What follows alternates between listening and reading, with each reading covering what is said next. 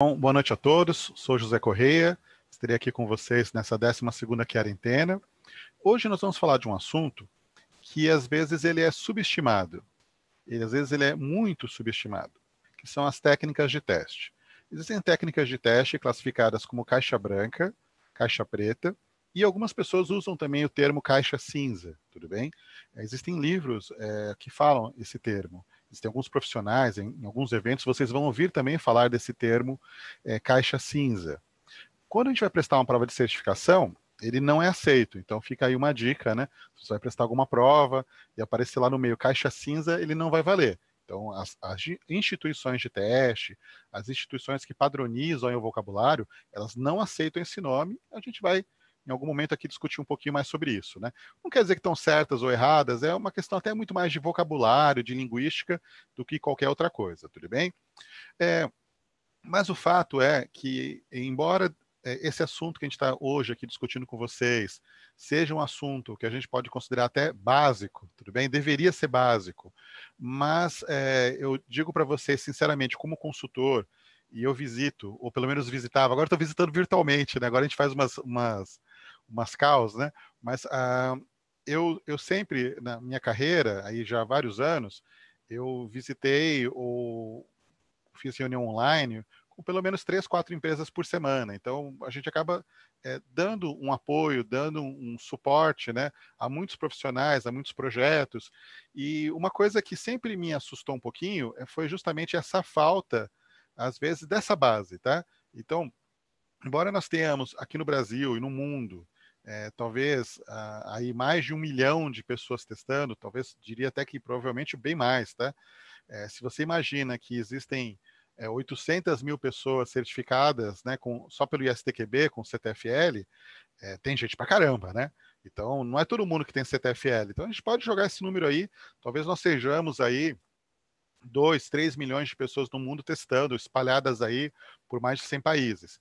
Mas, um assunto que fica muitas vezes, é, por ser considerado básico, é, colocado num segundo plano, e você pega direto problemas disso quando você está prestando uma consultoria, é justamente esse tema é, relativo a, a, a, técnicas. Né? Então, falta, às vezes, uma base em técnicas de teste. Na, na nossa apresentação de hoje, nós vamos falar especificamente sobre quatro testes, né? É, testes de caixa branca, a gente vai começar com dois que são considerados os mais fáceis, os mais simples, né? Mas que mesmo assim, sendo os mais fáceis, os mais simples, nem sempre é, a gente vê na prática. E o que é importante nós entendermos é que se a gente não tem é, essa base, é, mesmo que a gente for automatizar, porque agora todo mundo quer automatizar, aprender ferramentas, né? E está certo em querer aprender ferramentas e aprender a automatizar. Mas se eu não consigo enxergar quantos testes tem ali, que testes são esses, fica muito difícil, muito difícil mesmo, de fazer uma boa automação. Então, a automação ela também depende da sua capacidade de enxergar os testes necessários, tudo bem? Eu vou compartilhar aqui a, a minha tela com vocês. Ó, usando aqui o mapa mental, né? Depois daquela aula com a Alice Kimura da terça-feira. Na verdade, eu uso o mapa mental desde 2002, quando eu fiz o curso com ela, né? Então, vamos falar aqui sobre técnicas de teste. Então, de uma forma geral, as técnicas de teste, elas têm três tipos. Três tipos de técnicas. A gente tem as técnicas baseadas na especificação, ou seja, eu tenho que ter alguma coisa escrita para me basear. E essas técnicas baseadas em especificação, nós chamamos também elas de caixa preta. Tudo bem? Então, são técnicas de caixa preta. Nós temos técnicas é, baseadas na estrutura, ou seja, na lógica do código, na lógica do XML que armazena aquele código, isso a gente chama também de caixa branca, ok? Teste de caixa branca. E existem os testes baseados na experiência. Na experiência. As, aliás, as técnicas baseadas na experiência, baseadas, nossa, ele não conhece na experiência, que são é, o que a gente conhece muito aí como testes exploratórios, né? Testes exploratórios é um deles, né? Mas a gente poderia também falar de suposição de erros, né? É, vários tipos de teste relacionados à, à experiência do testador. O testador tem que conhecer do produto da tecnologia, tudo bem? E que mais que nós temos aqui? É, bem, hoje nós vamos focar aqui em caixa preta, então essa é a nossa estrela de hoje. E mesmo na caixa preta, eu não estou, não vou falar de todas as técnicas, tem muitas técnicas. Vou, vou tentar falar para a gente não estourar o horário, a gente está meio ficando mal falado, né? As últimas duas estouraram. A minha de quinta-feira passada deu umas três horas e pouco, né? E a, a da Liz deu quase quatro horas, né? Então, Hoje procurarei ser breve, tá, gente? Não vou abusar da paciência de vocês. Então a gente vai conseguir fazer em uma hora e meia, uma hora e quarenta no máximo, tá? Então calma aí, não fica, né? Tudo bem? Agora vamos lá. Quando a gente fala, fala de técnicas baseadas na experiência ou de caixa preta, significa que eu preciso ter uma especificação. Aí eu gostaria que hoje vocês participassem bastante comigo aqui no, nos comentários do, do YouTube, porque hoje vai ser um clima mesmo assim de que eu vou ter que saber o que, que, que, vocês estão respondendo para poder melhorar, para poder ajustar aqui algumas coisas, né? Porque a gente vai fazer exercício hoje aqui vai ser um negócio legal, hein? Então, é, eu gostaria que vocês participassem bastante aí nos no nossos comentários, tá? E eu vou fazer uma primeira pergunta aí para ver se vocês estão aí firmes comigo. É, quando vocês fazem teste, vocês têm algum tipo de documentação, alguma coisa para basear, ou é muito baseado em conversar? Vocês têm mais coisas escritas ou mais coisas orais? O que, que vocês me diriam? É mais conversa ou mais é, documentos? O que, que vocês acham? Vai colocando aí para mim, por favor. O que, que vocês acham? Mais conversa ou mais documento? Se eu tenho mais documentos, eu posso trabalhar com essa técnica baseada na especificação, ou seja, eu tenho uma documentação técnica, um projeto, eu tenho uma documentação de marketing. Então, quanto mais eu tiver é, detalhes que eu posso ler e entender, melhor. E quando eu não tenho, quando a gente está naquele clima bem assim de é, informal, né? Então tem muita coisa que não vem detalhado. Eu posso fazer uma conversa, fazer uma entrevista, montar um mapa mental que nem esse, ou montar um documento, é, um e-mail, que seja, é mandar para as pessoas que eu entrevistei, as pessoas que eu conversei, pedir para elas darem um ok se o meu entendimento, aquilo que eu escrevi está certo, e se elas acharem que é outra coisa, elas podem escrever é, uma réplica, né, uma coisa diferente. E então a gente tem que transformar a conversa. Se eu quero usar essas técnicas de especificação, eu tenho que transformar a conversa em texto, tá? O conversa em tabela, o conversa em diagrama. Eu não posso ficar só no mundo da conversa, tudo bem? Senão eu não consigo usar essas técnicas, tá? Eu preciso transformar a conversa num texto, num desenho, em alguma coisa, beleza? Que tem que estar ali é, na tela para eu poder interpretar, ok? E agora, se a gente não tem esse tipo de documento, mas nós temos, por exemplo, acesso ao código-fonte, eu posso já fazer um teste de caixa branca. Se eu tenho, por exemplo, é, bastante experiência naquele tipo de sistema, naquele tipo de negócio, eu posso fazer um teste baseado na experiência. Só que cada um deles tem técnicas específicas, tá? Não vou entrar no mérito, mas cada um deles tem técnicas específicas. E só uma coisa curiosa, é, de onde vem esses nomes, né? Porque a gente às vezes não entende um, uma nomenclatura, às vezes uma nomenclatura ela não fica muito muito legal. Opa, peraí que eu estou mexendo na câmera, eu piorei. Fica aqui então. É, às vezes a, a, a dúvida que a gente tem para guardar o que, que é caixa preta o que, que é caixa branca é porque às vezes falta entender, afinal, o que, que é, de onde vem esse nome louco, né? Caixa preta. Caixa preta me lembra avião, né? Quando o avião cai, que vão, vão atrás da caixa preta para descobrir o que aconteceu, né? E de onde vem esse nome? Então, esse é um nome bem anos, bem anos 70, tudo bem? E naquela época, é, não tinha nem é, pendrive, não tinha CD-ROM, não tinha nada disso, tá? Não tinha nem disquete, na verdade. E os computadores antigões, aqueles computadores muito antigos, os programas eles eram armazenados no negócio que a gente ouviu falar na faculdade, ouviu falar na escola técnica, chamada cartão perfurado. Então imagine umas fichas de papelão brancas, é como se fosse um, um gabarito aí de concurso público, de Enem, de loteria, cheio dos quadradinhos, os quadradinhos furados, aqueles retângulos todos furados, tudo bem? Não todos, né? Dependendo do que está representado lá de informação. Então, é, um, um, programador, ele carregava uma espécie de uma caixa de sapato, tudo bem? É, que continha é, várias fichas brancas com esses furinhos que representavam o programa. Então, em vez de ter um disquete ou ter um CD, um pendrive, eu tinha uma caixa de sapato branca com um monte de cartões brancos que eram o programa em si. Era uma maneira de armazenar e transportar o programa. Então, dessa parte de programação, dessa parte da estrutura do código, é que veio esse nome caixa branca. Então, porque lá na, nos anos 70 fazia sentido, era como o pessoal transportava os programas, transportava os programas em caixas brancas, tudo bem? E o que, que era caixa preta? Caixa preta é quando eu ia olhar o comportamento, como que aquilo funcionava, como que aquilo deveria ser.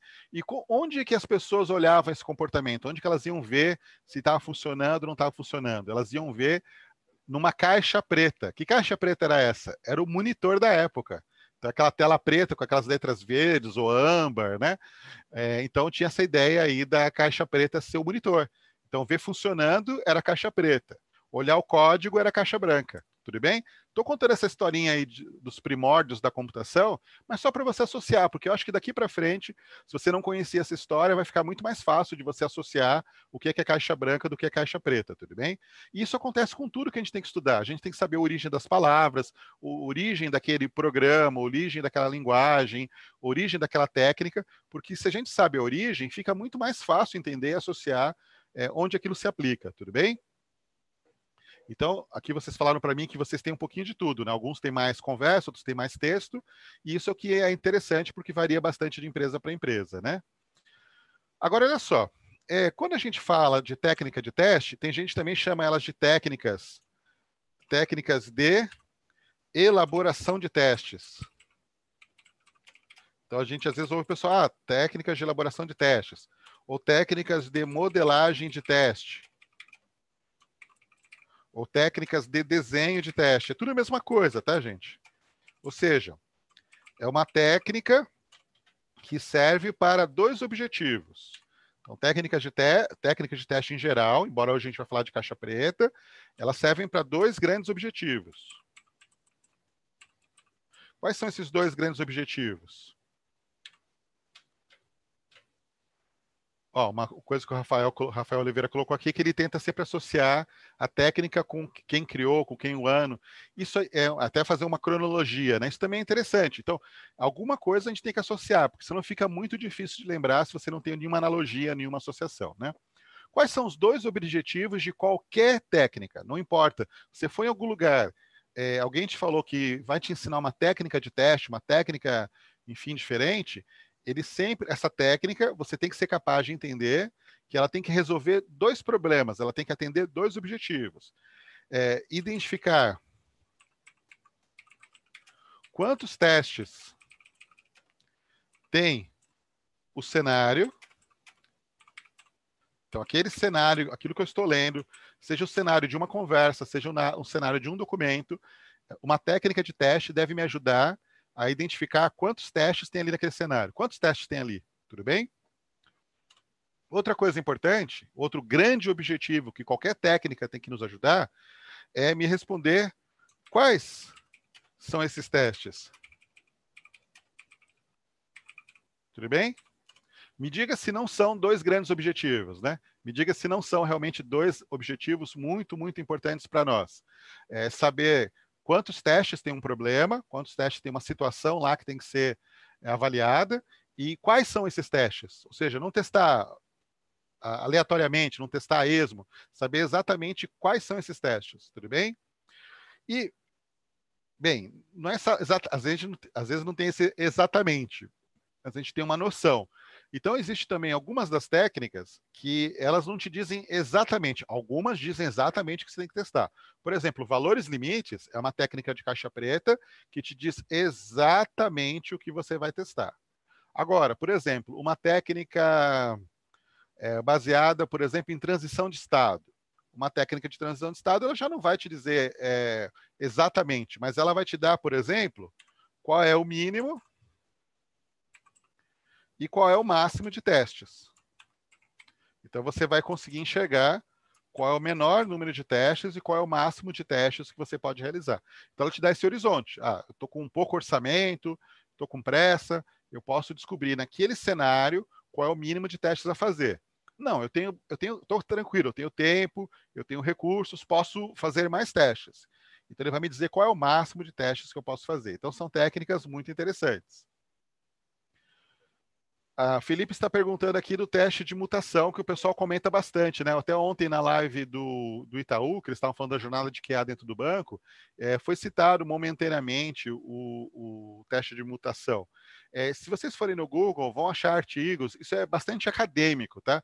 Então não é uma coisa que a gente ainda vê tanto assim nas, nas empresas, mas está começando a ser introduzido. Demora entre uma ideia sair da faculdade e ela entrar realmente na prática nas empresas.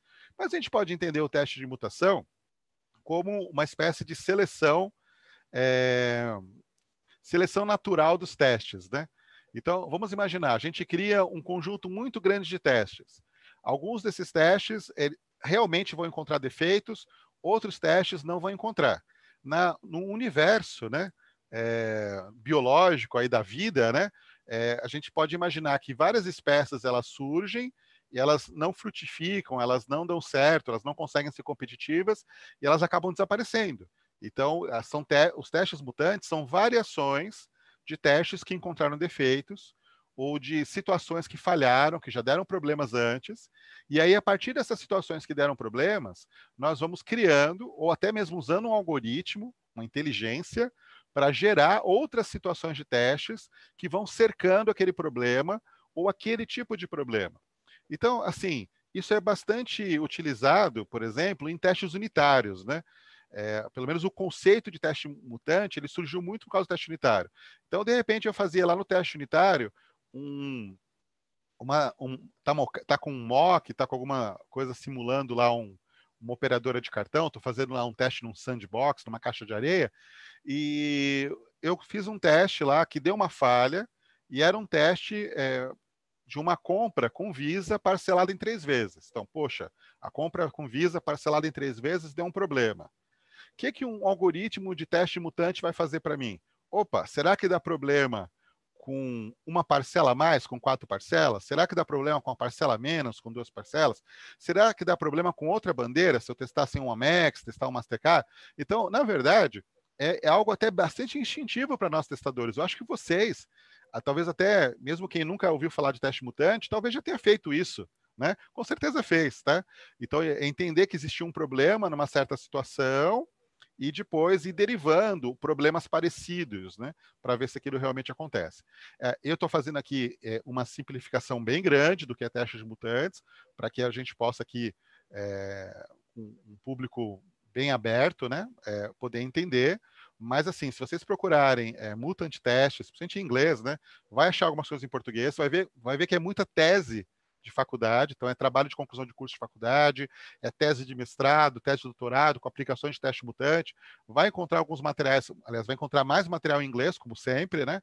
Mas, assim, é, seria essa ideia da mutação. Pensa numa seleção natural. É, nem todo teste acha defeito. Então, a, e a gente tem aquele problema do tempo, não dá para testar tudo, não tem recurso para tudo.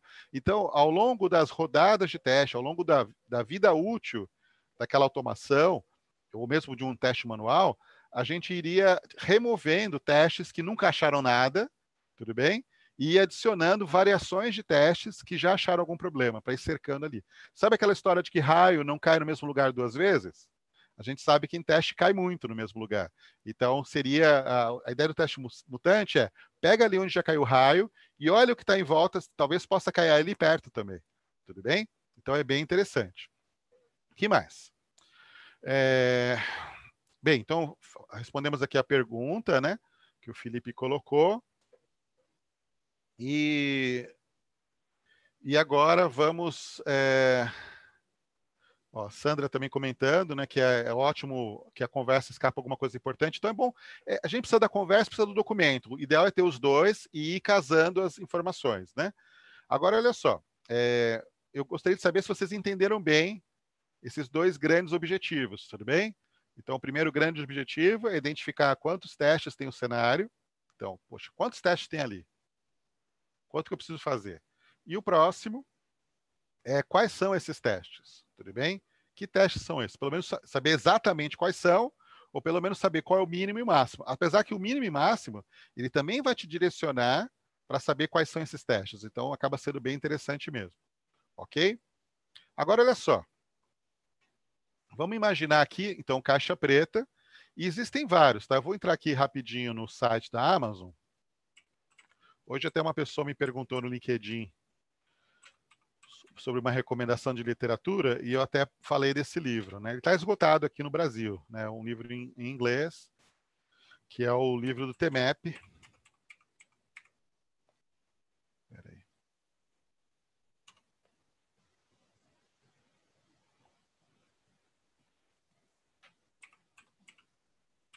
TMAP Next. Existem vários, esse aqui de 59 reais, né? Ele também tem uma versão e-book, tá? Então, ó, aqui tem uma outra de 2006, tá 105 dólares, tá mais carinha até, né? E, e tem essa aqui, também de 2006, que engraçado, né? Acho que é o tipo de capa, será? Não, hardcovers, os dois são hardcovers. Enfim, é porque também é um marketplace, então tem mais de um livreiro vendendo, né? Esse livro é um livro realmente extraordinário, ele é muito bom. E um dos melhores, né? Tá vendo? Só tem até um estoque agora, quem quiser comprar. É... Eu sei que é caro, mas é um ótimo investimento. Tem também na forma de e-books, né? Então é possível até encontrar ele como um e-book. Dentro desse livro, ele vai falar. Deixa eu ver se esse aqui tem o, aquele recurso de folhear o livro. Acho que aqui não tem. Acho que nesse aqui não tem o, o ver dentro. Na Amazon tem muito aquele aquela opção de você ver dentro do livro, né? E, mas enfim, é um livro muito bom.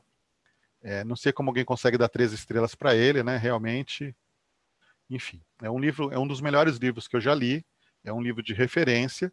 E aqui nele ele fala é, de todas as técnicas caixa, das principais técnicas de caixa preta, caixa branca e e testes exploratórios, testes baseados em experiências, tudo com exemplos, é muito completo. É um livro de 750 páginas, é em inglês, também tem em holandês e alemão, aí você escolhe, tá?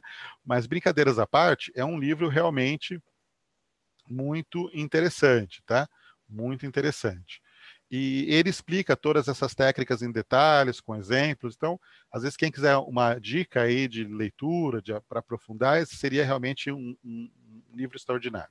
É um livro que não envelhece, é um livro que, ao contrário, você fala assim, ah, poxa, pô, o dólar daqui a pouco está seis reais, aqui, esse livro está quase 360. Com frete, ele vai chegar nos 400 reais fácil, tudo bem?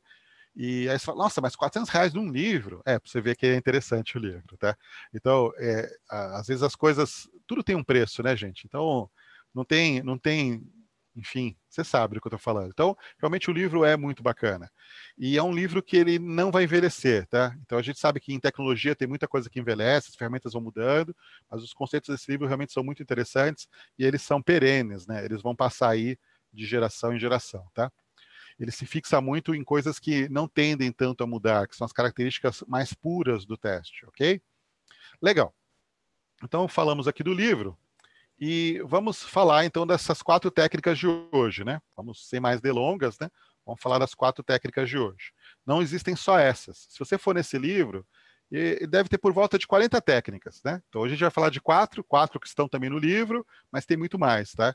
Então, por exemplo, as mais famosas, vamos começar das mais simples, né? É, são análise de valor limite, também chamado de análise de valores de fronteira, enfim.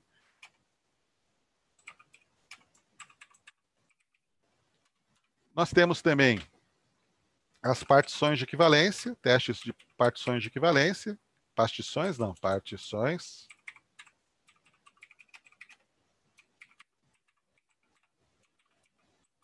equivalência, opa, equivalência,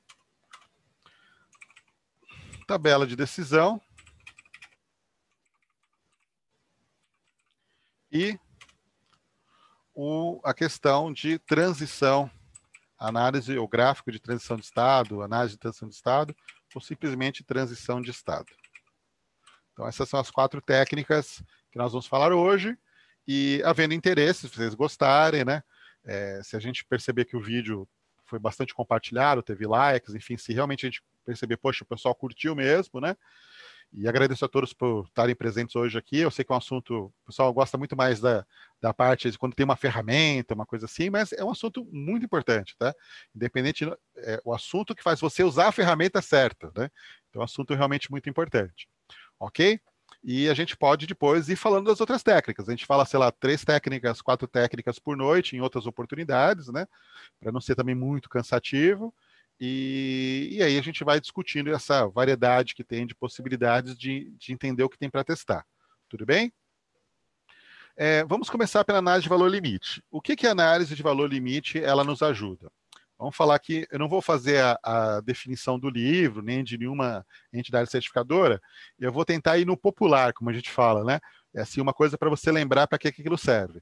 Então, quando a gente fala de análise de valor limite, a gente está falando de é, testar os valores vizinhos em que ocorre uma mudança de comportamento. Tudo bem? Então, vamos pegar aqui um exemplo. Ó, vou, vou, puxar aqui o, quadrinho branco que faz parte aqui do mapa mental também, ó, que chique agora, hein? Por essa você não esperava, hein? Ó, ficou muito chique, hein? Então, a gente vai colocar, vai colocar aqui, deixa eu colocar um pouco para baixo, que às vezes pode ter aquela, alguma barrinha aí que também atrapalhe, né? Pronto. Ah, a barrinha está embaixo, então dá para colocar para cima, assim. Não, mas tá bom, ficou bom. É, quando a gente vai trabalhar com esse tipo de, de técnica, deixa eu pegar aqui uma fonte bem selvagem, Courrier New, nossa, esses caras gostam de umas coisas antiquadas. É que Courrier New, ela, cada caractere ocupa uma posição. Então, para como fazer uma, uma arte um ASCII, né? Então é melhor que seja tudo bem, bem padronizado. Vou colocar um tamanho bem grande. Era bom até que fosse maior. Deixa eu ver se fica bom.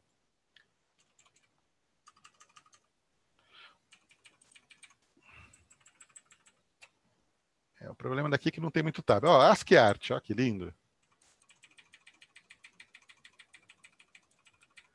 Vamos imaginar, não precisa tanto isso para imaginar o que eu vou falar, que uma empresa, uma. Espera que eu coloquei a letra pequena. Deixa eu colocar todo mundo aqui. Courrier.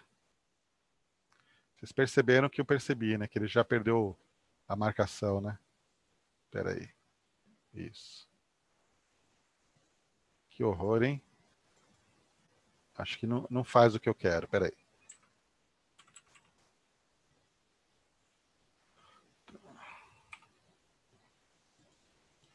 Só um instantinho. Está rebelde a ferramenta. Correnil 24. E vou colocar aqui uma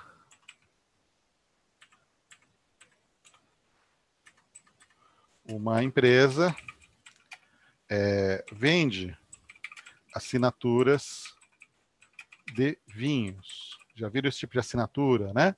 Que você paga um valor mensal e recebe uma caixa com dois a quatro vinhos todo mês, enfim, com uma revista, com um folheto explicativo, né, que vai explicando um pouco a origem do vinho, aquelas coisas todas. Tem para cerveja, tem para café, é, deve ter para chocolate, né? Senão alguém está perdendo dinheiro, né? Tudo bem? Então, uma empresa vende assinaturas de vinho e apenas é, maiores de 18 anos podem realizar cadastro. Então, por causa da lei brasileira, né?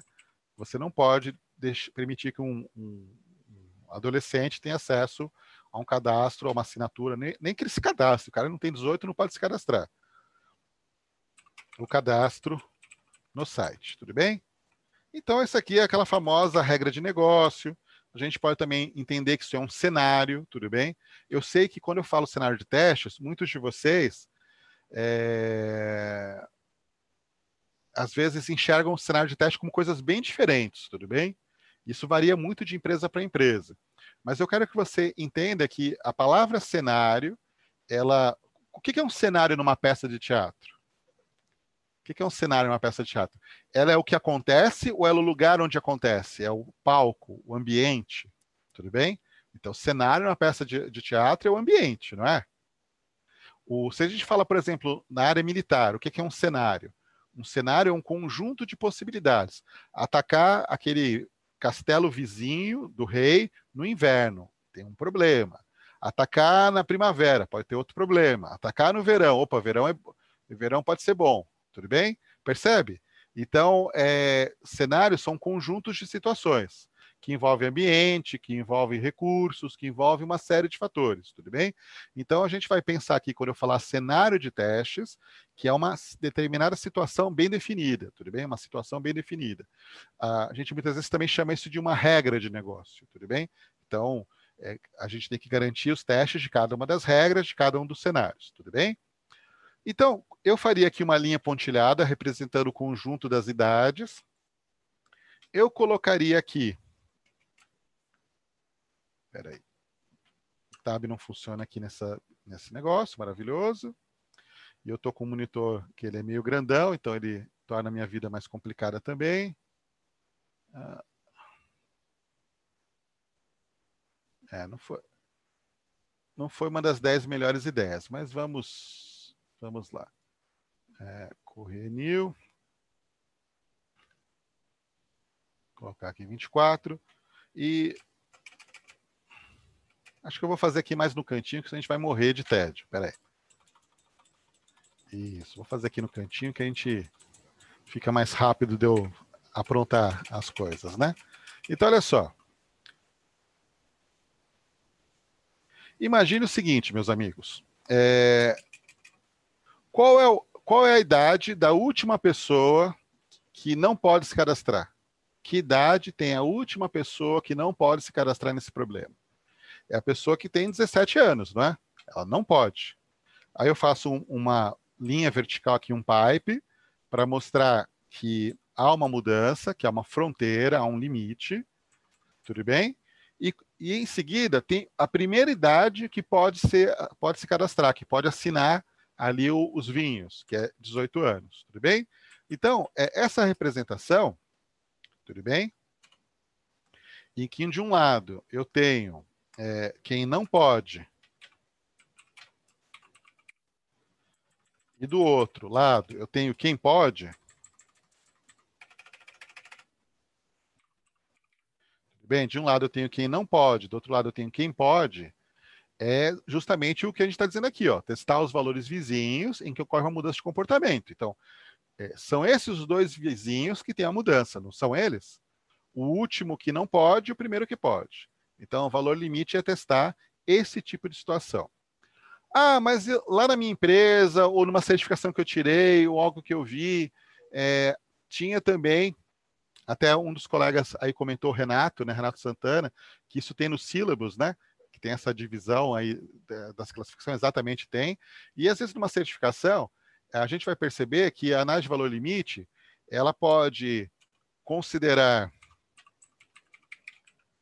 limites em dupla, ou ela pode considerar limites em trios. Tudo bem? Então, podem ser dois ou podem ser dois ou três testes. Como que seria isso aqui com três testes? Quando é três testes, é até mais fácil. Porque se a gente olhar no problema, no cenário, qual que é o número que ele expressa no cenário? O que, que ele fala de idade no cenário? Ele fala 18 anos. Quando a gente trabalha com uh, valores limites com três, com três valores, é sempre o número que veio escrito no problema, que no caso é o 18, que veio escrito no cenário, uma unidade a menos, uma unidade a mais, tudo bem? Então é sempre uma unidade a menos, uma unidade a mais. Então a gente está falando que no caso é, de trio, a, a, gente tem o 18, que já está aqui no problema, tem um a menos, que é o 17, e teria que ter um a mais. Um a mais teria que ser o 19, tudo bem? Espera, deixa eu colar aqui nele. Ó, 19. Tudo bem? Então, eu posso treinar, testar em duplas ou trios. Qual que é a diferença de testar em duplas ou trios? Quando a gente testa em dupla, a gente está considerando que é baixo risco. Quando a gente testa três valores, é alto risco. Tudo bem? Então, situações de baixo risco, que o problema não é grave, não é tão grave, eu posso testar dois valores. Quando ele for grave, eu devo testar sempre três valores, que seria essa situação aqui de baixo. Tudo bem? Então, baixo risco e alto risco tem duas formas diferentes de testar. E o que seria esse tal de alto risco? O que seria esse tal de alto risco? Ah, por exemplo, é, transportes um sistema que controla um avião, controla um metrô, controla o fluxo de navios num porto. Então, tudo que é associado a transportes é alto risco. A, a mensagem pode não chegar, alguma informação pode chegar errada. Então, problemas de comunicação. A gente está passando agora por um problemaço no planeta inteiro relacionado a o quê? A saúde. Então, aqui em saúde, a gente pode pensar em problemas médicos, farmacêuticos, farmacológicos, né? Todo tipo de problema associado com uma epidemia, com produção de remédios, enfim, telemedicina. Então, tem um monte de situações de alto risco ligadas à área da saúde. A gente pode pensar também na parte financeira. Então, tudo que envolve é, transações financeiras, compra e venda de mercadorias, e, enfim, tudo que envolve dinheiro. Né? É uma situação de alto risco em que você pode ter um prejuízo generalizado e tudo aquilo que envolve também situações críticas de vida e morte, o que é comum na área militar, tudo bem? Então a gente pode imaginar que se o software que você está testando, a função que você está testando, tem alguma dessas cinco grandes características, ela é de alto risco, então você deveria fazer os testes é, desta forma aqui de baixo, com três valores e não com dois. No caso aqui, o que vocês acham? Pelo que está sendo descrito aqui, vocês acham que ele deveria é, ser um teste com dois ou três valores? O que, vocês acham? Eu fiz com os dois, né? Mas o que vocês acham que deveria ser? Notem o seguinte, que se o software permitir uma pessoa com 17 anos ela comprar, assinar, assinar, essa empresa pode ser processada por estar estimulando crianças e adolescentes a beberem. Então, aqui existe também um problema legal, tudo bem? é, não cumprir essa regra fará com que a empresa possa ser penalizada legalmente, tudo bem? Então, tem uma questão financeira, tudo bem? Tem uma questão financeira e, e legal aqui nesse problema. Ó, Roberto Souza Neto fez uma pergunta muito importante. Não poderia ser 16, 17, 18? Então, o, o, a questão toda, é, vamos imaginar, é, Roberto, se eu escrever, a questão é como está escrito, tá? É como está escrito tá? A especificação. Se a especificação tivesse escrita assim, ó, uma empresa vende assinatura de vinhos e apenas é, é, pessoas com mais de 17 anos podem realizar o cadastro.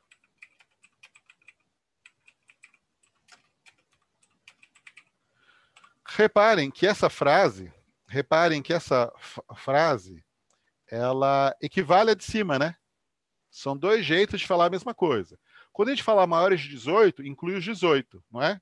Então, maiores de 18 é uma pessoa com 18 ou mais.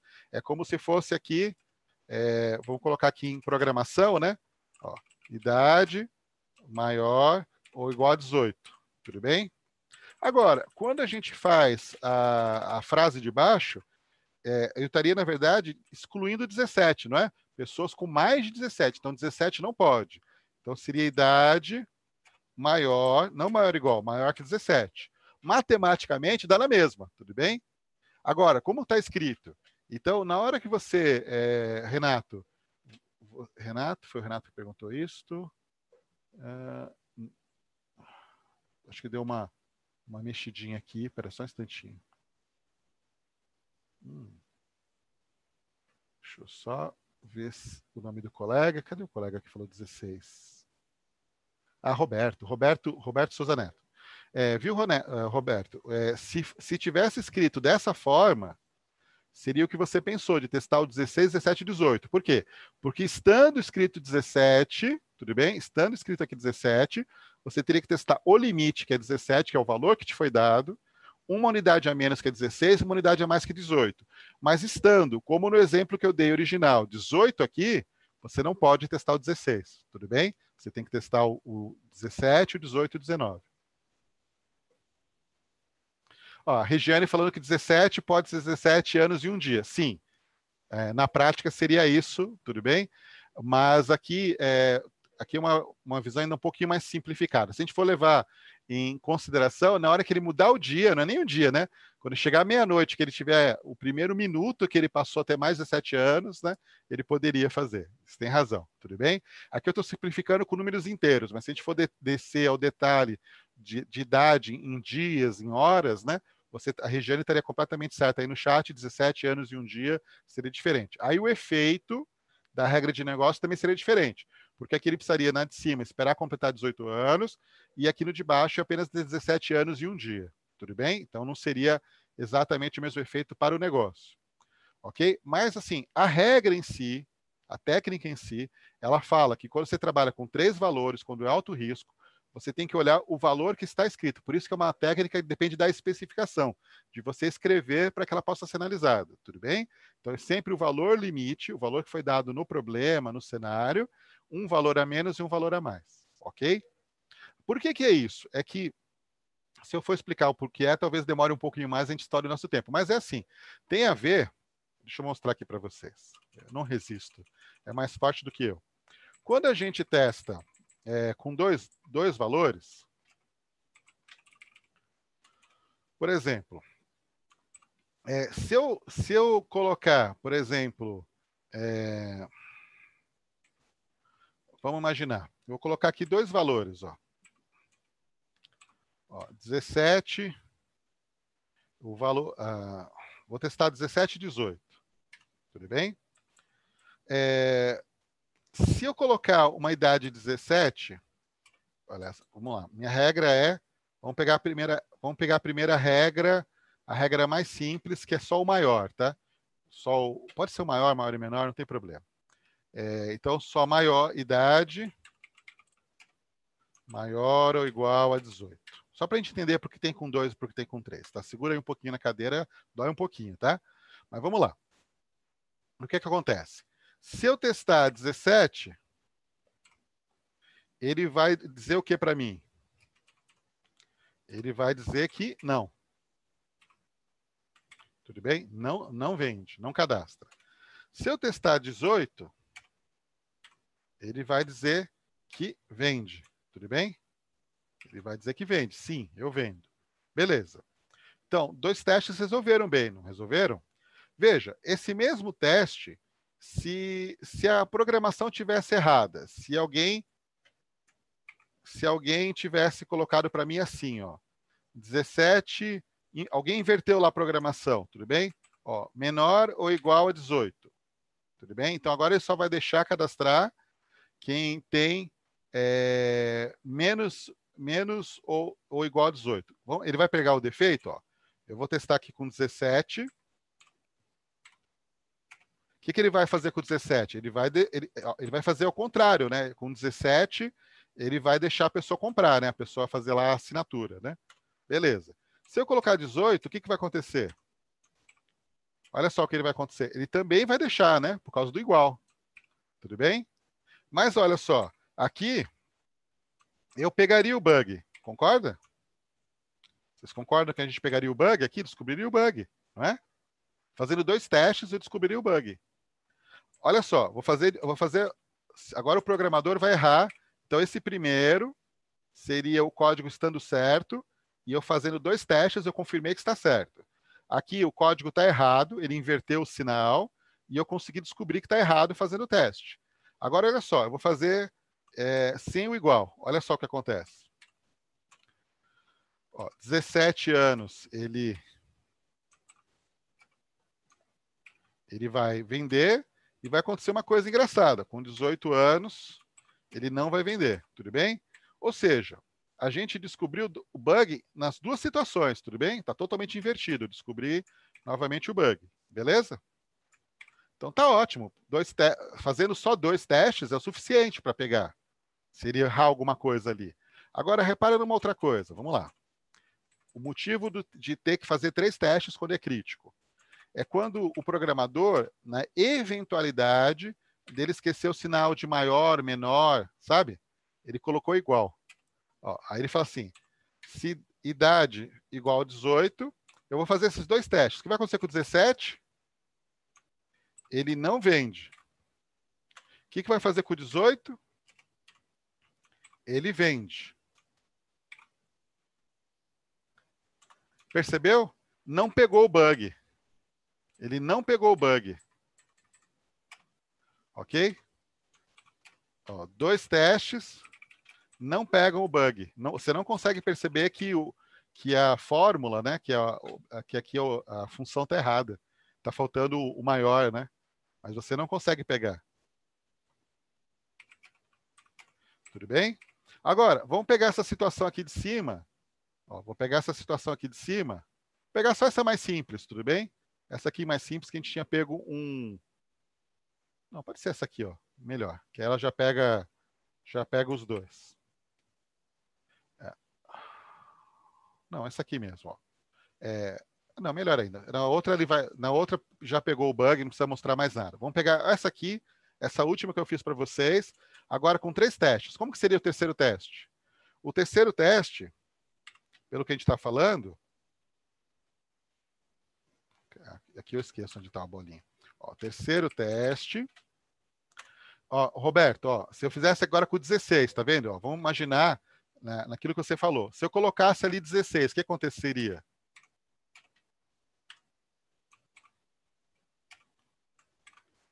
Ele não, ele não cadastraria e pareceria que está certo, né? Mas está errado, porque está faltando ali o sinal de maior. Então veja que o 16 com igual aqui, se eu tivesse testado, não, não, não, não me adiantaria muito, tá vendo? Não pegou, tudo bem? Ó, também não pegaria. Tudo bem? Agora, olha só. Se em vez de fazer esse teste do 16, eu testasse agora um a mais. Quanto que é o a mais? Que é o 19. Quando eu testasse o 19, o que, que aconteceria aqui na minha função? Quando eu testasse o 19, ó, 19 é igual a 18? Não. Tudo bem? Só que eu sei que tudo a partir do 18 tinha que dar S, tinha que dar sim. Então eu acabei de pegar um bug.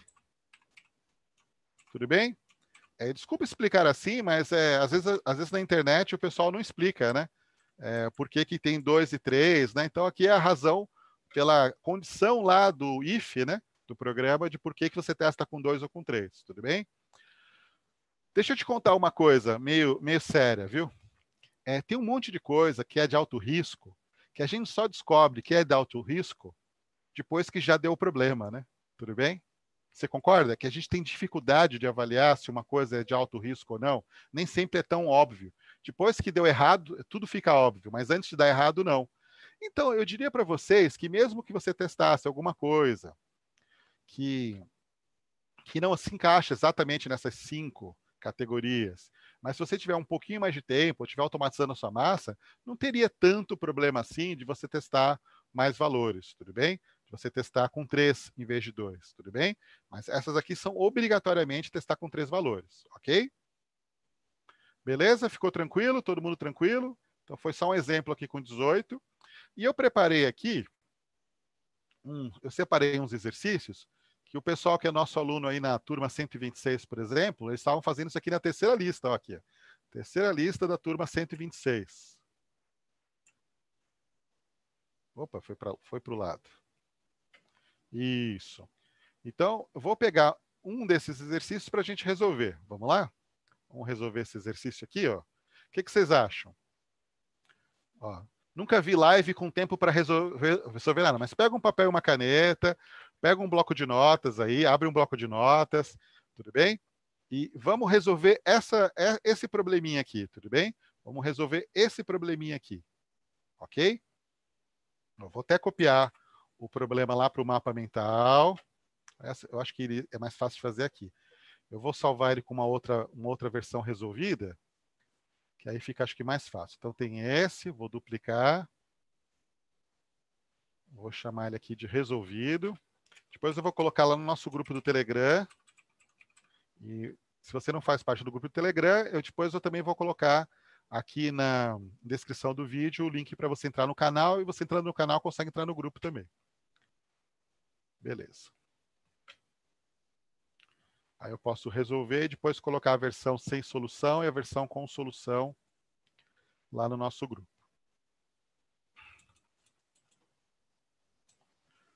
Vamos resolver juntos? Vou dar um minutinho para você ir na frente e em seguida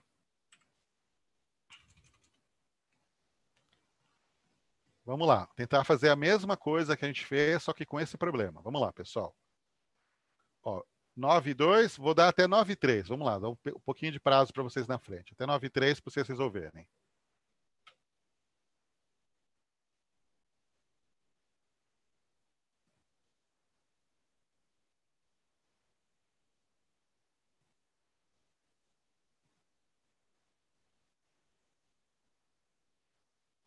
façam daquele jeito que eu fiz. Você vem aqui, coloca uma linha pontilhada,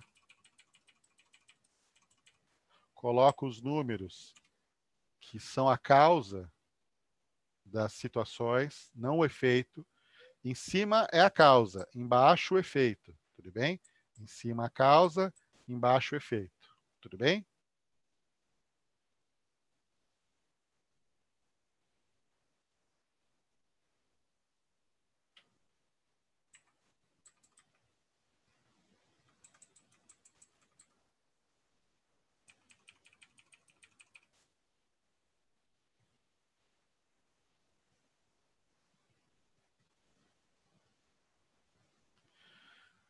Pronto. Se você já armou a questão, você já é, tem, assim, 90% de chance de acertar se você armar a questão direito, tudo bem? Então, veja só. Em uma fazenda de café, tem uma máquina lá com várias peneiras que seleciona os grãos, né? E todos os grãos que são menores de 3, menores de 3. Então, menor de 3, nas boas casas do ramo, são aqueles que são com 2, né? 2 milímetros, né? E deixa eu te contar, não existe grão de café com zero milímetros, né? Então, o grão de café, ele também tem um tamanho de 1 a 2 milímetros no mínimo aqui, tudo bem? Não existe grão zero, que é uma, uma medição física, então não tem como ter grão de zero, né? Tudo bem? Então, veja, aqui tinha uma situação oculta, né? Que era o valor zero e o valor 1. Então, um grão de 1 a 2 milímetros é descartado, um grão ah, men... aliás, os... exatamente, esse aqui, são... esse, esse aqui não se aplica, ó, vou até colocar aqui embaixo, ó. Colocar aqui um, não se aplica, tudo bem? A zero ou negativo não se aplica. De 1 a 2, ele é descartado, tudo bem? Vou até colocar aqui um espaçamento maior.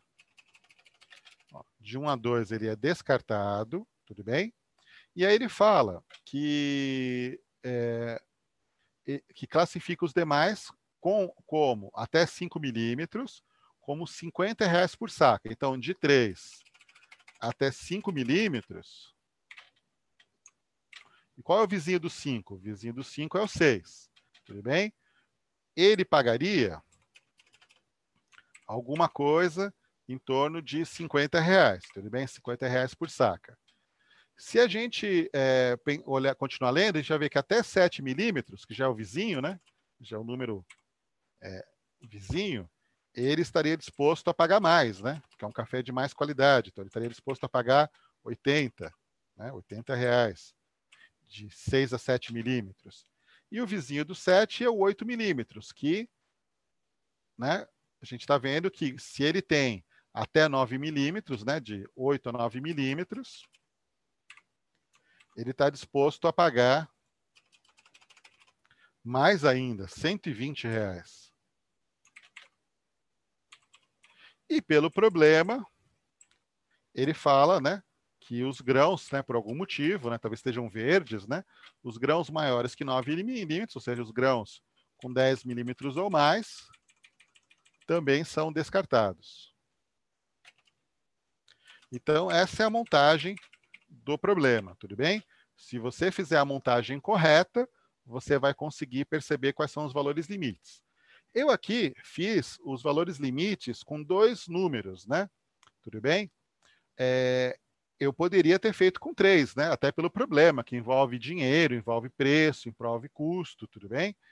A única problemática aqui é que pela, pelo tipo do número em si, que são números muito próximos, muito colados, né?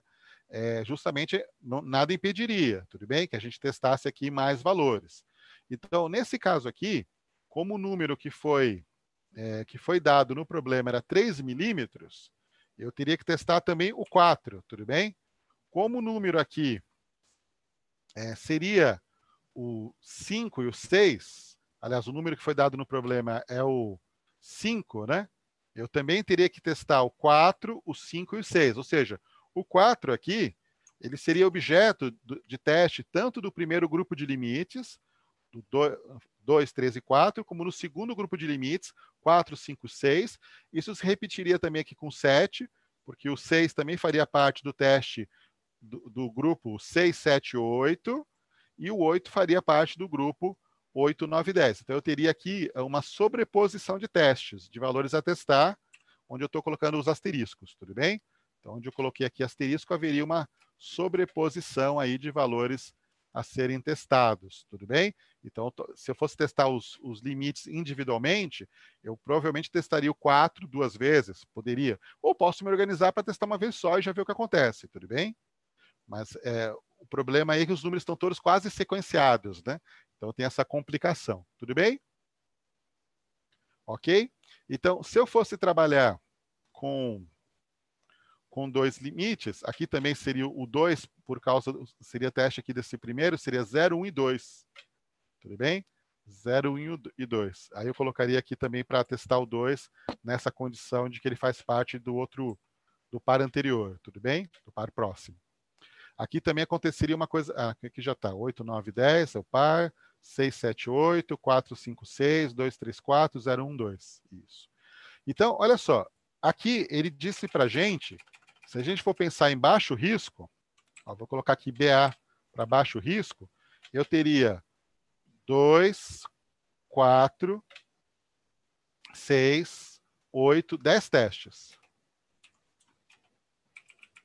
por baixo risco. Se eu for pensar em alto risco, tudo bem?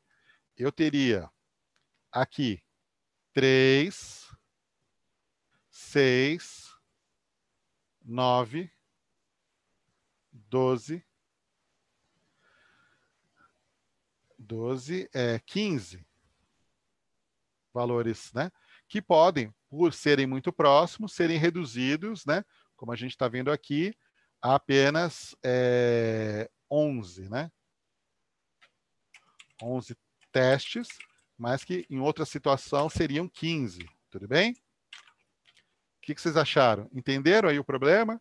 O problema tem algumas pegadinhas, e pegadinhas fazem parte do trabalho do testador, como, por exemplo, enxergar essa situação aqui do 0 ou 1, um, tudo bem? Que é uma situação que está oculta no problema, mas na hora que você desenha, e por isso é muito importante desenhar, se você assistiu a, a quarentena com a Liz Kimura, né? Ela até uma hora ela fala sobre a questão do desenho, né? E é uma coisa que eu sinto muito na área de tecnologia, que a gente perdeu o hábito de desenhar. Existia um hábito antigo né, de você construir, de desenhar aquilo que você vai realizar. Então, perceba que falta um desenho. Simplesmente montando esse desenho, olha como já ficou mais claro. Tudo bem? Aproveitando esse momento, repare, vamos voltar lá, naquele, lá no primeiro do, do vinho. Tudo bem? Ó, estamos voltando aqui no vinho. Eu vou tirar essa, essa linha aqui. Vamos deixar ela. Ó, estamos considerando a linha de cima, tudo bem? Que uma empresa vende assinatura. Eu vou deixar até em negrito para a gente poder entender melhor. Vou até mudar aqui a corzinha. Pronto. Ok. Então, essa situação, uma empresa vende assinatura de vinhos e apenas, apenas maiores de 18 e apenas mais de 18 anos podem realizar o cadastro do site, ele não fala para a gente só de limites. Ele também nos fala de uma segunda técnica, que é a técnica de partições de equivalência. E o que, que seria, no popular, partições de equivalência? Seria testar um valor de cada grupo. Testar um valor de cada grupo. Quantos grupos nós temos aqui no problema de cima? Quantos grupos nós temos aqui no, no, no problema de cima? Reparem bem. Nós temos um grupo que não pode assinar e nós temos um grupo que pode assinar. Tudo bem?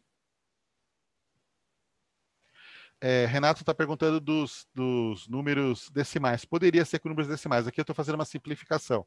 Se você usar com números decimais, é, é normal. Você coloca ali a vírgula e quantos dias ou, ou, meses, ou se você estiver trabalhando com dinheiro, por exemplo, um centavo. Se for combustível, né? A imposto de gasolina tem a terceira casa, né? Se for, por exemplo, é, dinheiro entre instituições financeiras, tem às vezes oito casas decimais. Então poderia ser sim é, com valores decimais até maiores do que dois dígitos. Aqui é só uma simplificação, mas aquilo que você imaginou de fazer com decimal funcionaria, tudo bem? Beleza? Então, aqui tem duas situações: uma situação que não pode fazer assinatura e uma situação que pode fazer assinatura. Ok? Então, voltando ao nosso problema aqui que a gente estava resolvendo, a gente chegou numa ideia e a gente conseguiu enxergar quais seriam os testes por baixo risco. Mas se eu estivesse perguntando é, testes por partições de equivalência, quantos testes tem aqui? Quantos testes tem nesse, nesse problema, nesse mesmo problema das sacas. Veja, eu tenho um grupo, que é o zero ou negativo, que ele foi descartado porque é pequeno demais. Tudo bem? Que ele não, ele não, é, ele até fala, é, ele não se aplica. Né? Na verdade, ele não se aplica. Ele deveria dar um erro, não é nem descartado, porque eu não posso ter um grão é de tamanho zero, tamanho negativo. Tem alguma coisa errada na máquina, né? É uma falha na máquina, é uma falha de leitura. Tem que ser investigado. É, os grãos que tivessem de 1 a 2 seriam descartados, seria um segundo grupo. Esse descartado não é o mesmo que esse aqui, porque esse aqui é descartado por ser pequeno e esse outro aqui é descartado por ser grande. Eu vejo algumas pessoas, quando eu vou analisar aí na consultoria é, caso de teste ou mesmo massa, que às vezes o pessoal considera que é um, é um teste só, se ele foi descartado. Não importa se é por, por ser pequeno ou por ser grande. Mas é muito interessante ter um, um descartado para cada grupo mesmo. Existe um grupo aqui de 1 a 2, existe um grupo aqui maior de 10. Então é legal serem dois grupos, né, dois testes. Teria um teste que me desse é, 50 reais por saca, ou seja, um teste em que o valor fosse qualquer número, como 3, 4 ou 5, não importa qual dos três valores fosse, precisa ser só um valor desse intervalo de 3 a 5 para pagar a saca de 50 reais. Da mesma forma, poderia ser o valor 6 ou 7, ou se a gente pensasse em decimais, né, como foi colocado, 6,2, 6,4, 6,6, qualquer valor decimal aqui, aqui em volta, completou uma saca, a saca vale 80 reais. E a mesma coisa aqui com 120, um valor de 8 a 9. Então, vejam, eu tenho 1, 2, 3, 4, 5, 6 grupos. Então, eu teria que fazer seis testes. E aí tem uma coisa curiosa. No valor limite, esses 10 testes que eu acharia por baixo risco, ou 11 ou 15 testes por alto risco, todos nós temos que chegar no mesmo número, tudo bem? O valor limite, todo mundo que olhar o problema vai chegar nos mesmos números. Aqui podem ser números diferentes nesses seis testes de partição de equivalência. Porque eu posso escolher, é, por exemplo, aqui no, no, no tamanho que não vale, eu poderia testar, por exemplo, menos um, que nem está aparecendo na regra. Tudo bem? Que seria um valor que ele não vai aceitar porque é uma falha de leitura. Eu vou ter aqui, eu poderia escolher um, por exemplo, para testar os descartados. E você, de repente, escolhe o dois, descartado pequeno. Aí vou escolher um número é, do que vai pagar 50 reais. Vou escolher quatro. Vou escolher um número que vai pagar 80 reais. Vou escolher, por exemplo, seis. Vou escolher um número que vai pagar é, 120 reais. Vou escolher, por exemplo, o 8. E vou, poderia ter escolhido o 9. Tanto faz escolher o 8 ou, ou o 9 nesse caso, tudo bem? E vou escolher um número que seja maior que 10. Então, eu posso escolher, por exemplo, 15. Tudo bem? Então, o, o, o, número, os números que eu escolheria não necessariamente são os números que você escolheria, mas esses números eles têm que ter uma característica. Cada um deles tem que fazer parte de um desses grupos separadamente. Eu não posso ter dois testes no mesmo grupo, ok?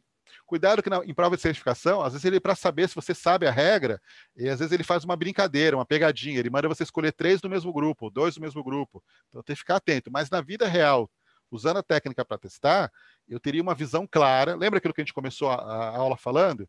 De enxergar é, quantos testes e quais são? Então, repara, tanto a técnica de valor limite como a técnica de partição de equivalência, ela consegue dizer para a gente quantos testes fazer e quais são esses testes. Embora eles não sejam iguais entre nós, tudo bem? Mas eles são relevantes, eles são importantes, tudo bem? Vamos ver se vocês entenderam mesmo? Ó, vamos subir a barra, hein? Esse aqui é um clássico, ó. Tudo bem? Vamos fazer esse dos correios, vamos lá. Vamos fazer esse dos Correios. Vou dar dois minutinhos para vocês. São 21 e 16, vou dar até 21 e 18. Vamos montar esse dos Correios. Cuidado com a interpretação de texto.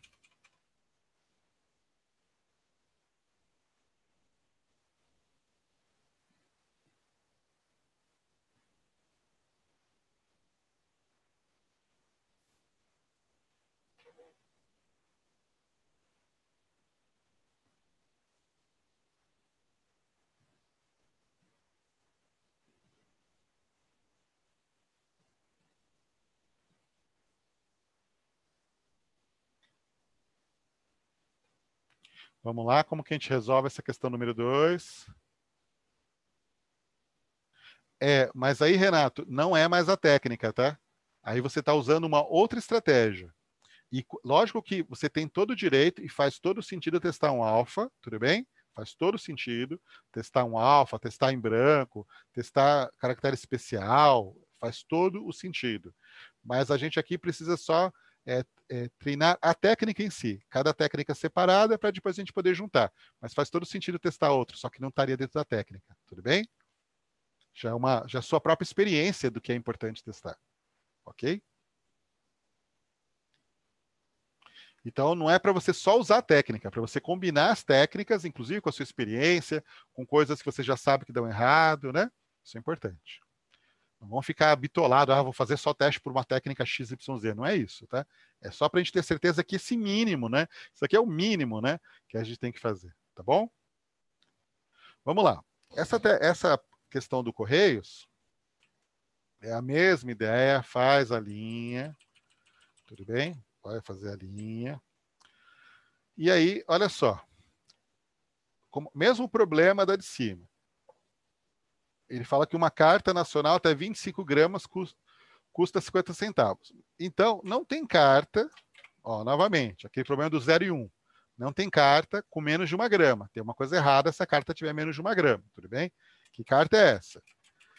Tudo bem? 25 gramas, ó, 0 e 1. Então, aqui não vende, né? Aqui, a partir do do 1 grama até 25 gramas, ele vai cobrar os tais dos 50 centavos, não é isso? Qual que é o vizinho das 25 gramas? 26 gramas, tudo bem? E de 26 gramas ele fala que a cada 25 adicionais ele cobra 30. E que o máximo é 200. Então, 25 chegaria em 50. O vizinho dos 50 é o 51. O próximo é 75 o vizinho do 75 é o 76, o próximo é o 100, esse aqui vai ficar grande, hein? O 100 daria o 101, continuando daria o 125, 125, 126, aí você já pegou o jeito, né? 150, 151, 175, 176. E aqui o 200, que é o máximo, 201. Tudo bem? Deixa eu até tirar um pouquinho o espaço para ele caber na mesma, na mesma linha.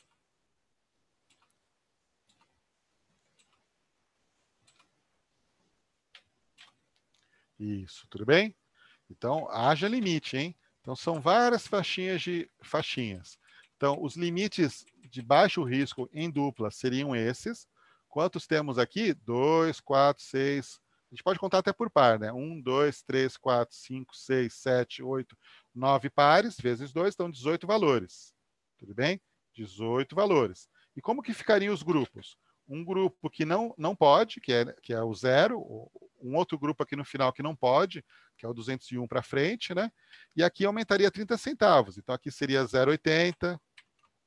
Tudo bem? Aqui seria 1,10. Aqui seria 1,40. Aqui seria 1,70.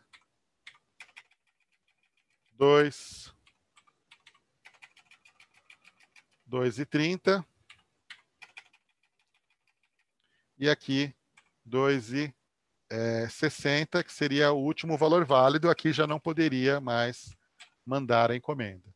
Então, veja, são por dupla, são 18 valores, né, 18 valores limite, 9 duplas. E por partição de equivalência, que é testar um valor de cada grupo, eu teria aqui justamente onde essas linhas cortam. Então, tem 1, 2, 3, 4, 5, 6, 7, 8, 9, 10 grupos diferentes, 10 partições, 10 partes, 10 classes diferentes. E aí eu teria que fazer um teste para cada um. Então, esse teste para cada um era só fazer um teste de cada grupo. Então, por partição de equivalência,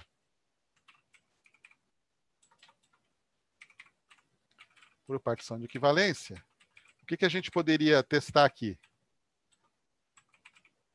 Novamente, eu podia vir aqui e colocar um menos um.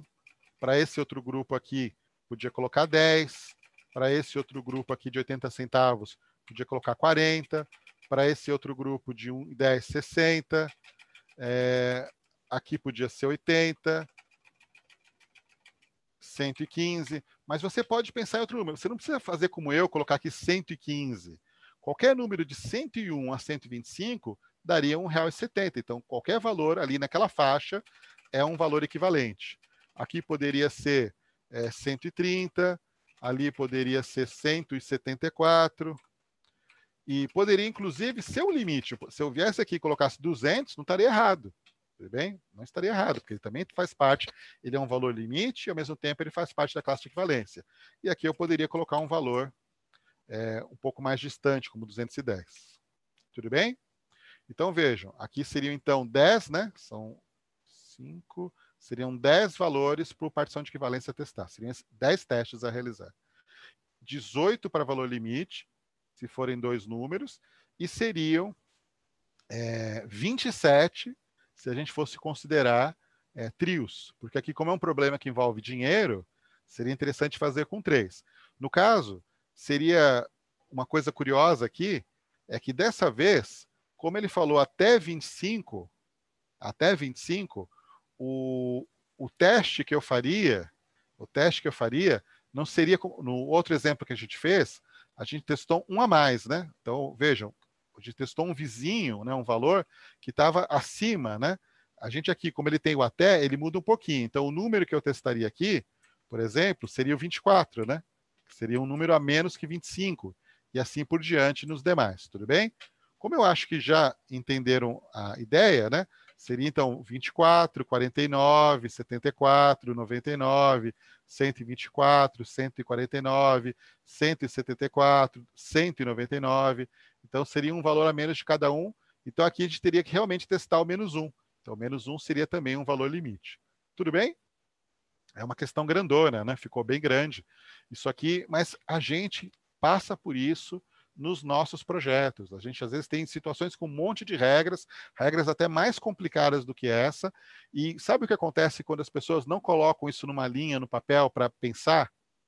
Elas acabam testando, sei lá, alguma coisa aqui no começo, tudo bem? Alguma coisa aqui no final, às vezes alguma coisa no meio, mas fica um monte de grupos, de partições ou de valores limites que não foram testados. Então foi mal testado. É muito frágil o teste, quando ele não respeita essas regras, tá? Esse aqui é um teste que a gente pode dizer mínimo numa, numa regra como essa. Se eu tenho uma regra de negócio que é como essa, eu tenho que realmente fazer pelo menos 10 testes de, por partição de equivalência e fazer os 27, não nem esses 18, os 27 testes de, de valor limite. Ah, mas é muita coisa. É, mas é porque a regra tem isso. É como você dizer, alguém te disser que você tem que testar no, no Chrome, no IE, no Firefox, nas cinco últimas versões de Chrome, nas cinco últimas versões de Firefox, nas cinco últimas versões de IE, nas cinco últimas versões de Opera, e você testar numa versão de Chrome e falar, tá bom. Percebe? claramente está incompleto. Então, se eu tenho toda essa riqueza de situações, e eu vou lá e faço, sei lá, cinco, seis testes aqui, eu estou fazendo menos do que eu deveria. Claramente menos. Está errado. Não é uma questão de estilo, está errado. Se você fizer isso daqui e fizer como o colega disse, de fazer testes também com caracteres especiais, com espaço em branco, tudo bem? Aí ótimo. Mas menos que isso não pode, tá? Menos que isso aqui não pode, ok? Ou até pode, quem sou eu para dizer que não pode, né? De repente, manda quem pode, né? Obedece quem tem juízo. Às vezes eu falo, pessoal, teu time fala assim: ah, só dá tempo de fazer dois testes. Você vai lá e faz os dois testes que você acha mais importantes. Mas você tem que ficar incomodado, você tem que conseguir, às vezes, negociar com o teu time e mostrar. E até conhecer a técnica para fazer um desenho como esse lá no teu time mostrar o que, que tem ali, isso ajuda o entendimento, ajuda no convencimento, na negociação de que existem mais testes ali que estão sendo deixados para trás, tudo bem? Pessoal, como, é, olha, nós fizemos então dois exercíciozinhos aqui de valor limite, partição de equivalência. Eu vou liberar para vocês mais alguns, tá vendo? Ó, tem mais aqui, ó, mais quatro exercícios desse mesmo tipo de partição de equivalência, tudo bem? E a gente pode discutir lá no grupo do Telegram. Então, eu vou colocar esse, essa paginazinha lá, tudo bem? Quem quiser fazer os exercícios, depois a gente discute lá, faz com calma, vê se você consegue enxergar direito, tudo bem? Porque eu acho que senão a, a gente vai acabar não, não, abrangendo as outras técnicas, né? Falamos de duas e ainda tenho mais duas para mostrar e a gente está estourando já nosso tempo, né? Ó, uma outra pergunta do Roberto é por que escolher uma abordagem ou outra? Então vamos lá. É, na verdade, não é uma ou outra, deveriam ser as duas. Quem criou essas duas técnicas foi o Glenn Ford Myers, que é um dos pais do teste né, moderno, e foi publicado naquele livro A Arte de Testar Software, né? The Art of Software Testing, lá de 79. Tudo bem? Então, ele não imaginou as técnicas como excludentes, ele imaginou as técnicas como complementares. Ele imaginou, como eu acho que todos vocês conseguem perceber bem, que se alguma coisa vai quebrar, ela vai quebrar aqui, vocês concordam? Que é muito comum quebrar na virada de valor, na virada do comportamento. Até quando a gente mostrou lá o menor e maior, menor e igual, era isso, né? O, problema, a maior parte dos bugs, elas acontecem nesse momento do limite, tudo bem? Só que essa ideia de fazer a partição de equivalência e testar uma coisa que está aqui mais no meio, é como se fosse fazer uma amostragem se não tem uma regrinha aqui também. Então, seria uma maneira de checar se não tem uma mudança de comportamento oculto. Alguém em algum momento fez uma promoção, e vamos imaginar aqui. Alguém uma vez fez uma promoção, que tinha uma carta padronizada, sei lá, um cartão de Natal, e esse cartão de Natal ele tinha 80 gramas, tudo bem? E naquele ano, o cartão de Natal de 80 gramas, o cartão de Natal de 80 gramas, ele, deixa eu colocar aqui, um exemplo meio estranho que eu vou dar, tudo bem? Ele era grátis, tudo bem? Então, 80 gramas era zero, tudo bem? Tudo bem que nesse exemplo que eu estou dando vai ser que meio que batalha naval, né? Você só vai descobrir que tem uma regra dizendo que 80 gramas dá zero que alguém esqueceu de tirar. O que eu estou falando é isso. Tem uma regra lá dentro que oferece algum frete grátis, oferece algum, algum bônus, oferece algum desconto, mas que ela não foi identificada. Ela não está mais na documentação. Os usuários, na reunião, nas conversas, ninguém lembra que isso aconteceu, tudo bem? E foi algo que foi esquecido no código. Aí você fala, não, isso é um absurdo, isso não acontece. o pior é que pode acontecer, tudo bem? E isso desde da, da, década de 70 é um medo que se tem. É o famoso código morto, é o famoso, é uma regra oculta, né? Então, ele testa os valores limites, que são os valores conhecidos da especificação, e ele tenta acertar alguma coisa aqui no meio, tipo uma batalha naval, né? Manja batalha naval? Água, fogo, peguei um destroyer, peguei um submarino. Então ele tenta achar um valor aqui no meio para ver se continua com o mesmo comportamento, tudo bem? Às vezes, por mais incrível que pareça, ao fazer um teste desses, ele vai descobrir. É, quando as pessoas têm muito pouco tempo, é, muitas vezes elas vão optar, ao invés de fazer a partição de equivalência, fazer só valor limite. Então, se eu tenho pouco tempo, provavelmente eu vou preferir fazer teste de valor limite do que fazer, por exemplo, valor limite e parção de equivalência. Da mesma forma, se a gente pensar que se eu tiver é, menos tempo ainda, e eu só quero garantir que, que um, um em cada grupo me dá o valor correto da, de, de encaminhamento aqui do SEDEX, por exemplo, da carta, testar um de cada grupo já seria uma checagem simples e rápida se cada correspondência tem o valor correto. Não, não é uma coisa abrangente, é uma coisa, como eu falei, simples e limitada, tudo bem? É, reparem que eu precisaria de 20, 18 ou 27 testes de limite, mas precisaria apenas 10 testes de partição de equivalência. Então, seria um teste menor ainda, né? Então, a, a composição é, se eu tenho pouco, muito pouco tempo, talvez eu faça só partição de equivalência. Se eu tenho um pouco mais de tempo, um tempo razoável, eu posso fazer só limites. Se é uma coisa crítica, ou eu realmente tenho mais tempo, eu poderia fazer um combinado de valor limite com parcial de equivalência e até somar outras visões que você tenha de valores interessantes a testar. Coisas que já deram problema antes, é, quais são as situações mais usadas, quais são os tipos de pesos mais comuns, é, pesos que já deram algum tipo de problema. Então, aí a gente faria uma coisa mais ampla, tudo bem? É, eu sei que a gente às vezes acha até que essas técnicas são pobres, né? Mas o problema, como eu estou dizendo, seriamente, como consultor, às vezes eu, eu, baixo lá 100, 200 casos de teste, pego um monte de script para olhar, e eu vou te contar o seguinte: é, às vezes eles não contemplam nem esse pouquinho, tá? Não está contemplado na massa de teste, não está contemplado nos scripts de teste, nos casos de teste manuais, não está contemplado de se checar esse mínimo, tá? Isso aqui é um mínimo, ok? Então, lá no nosso grupo do Telegram, eu vou colocar aqui uh, essas questões, a gente vai resolver por lá. Tudo bem? Ó, a Regina está citando um caso que aconteceu com a Glovo, né? Que era uma concorrente aí do RAP, né? Se eu não me engano, e que eles tinham um cupom que nunca expirava, né? Então, é uma regrinha que está lá na base e que às vezes vai carcomendo até o resultado financeiro da empresa, tudo bem? Então, tem aqui mais algumas. E vamos falar agora um pouquinho de uma outra técnica. Então, a gente já falou de duas, eu tinha começado nossa, nossa live de hoje falando que nós íamos ver quatro técnicas, já falamos de duas.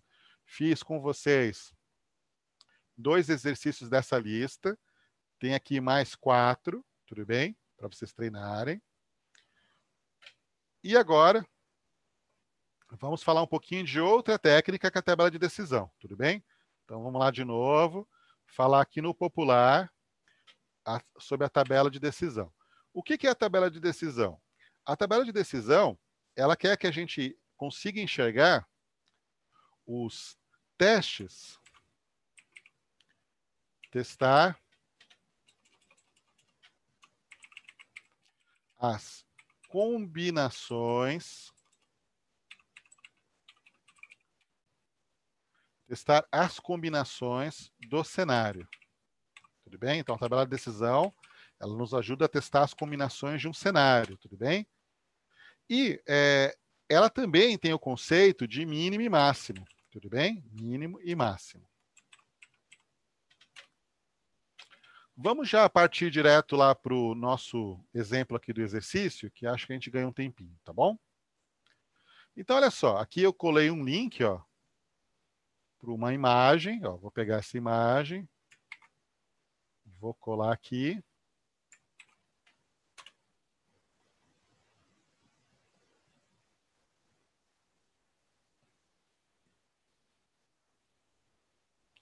Ué, não trouxe a imagem? Peraí, vamos de novo.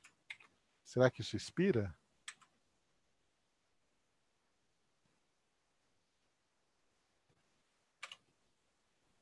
É, acho que expirou aquele link, hein? Peraí, deixa eu olhar de novo.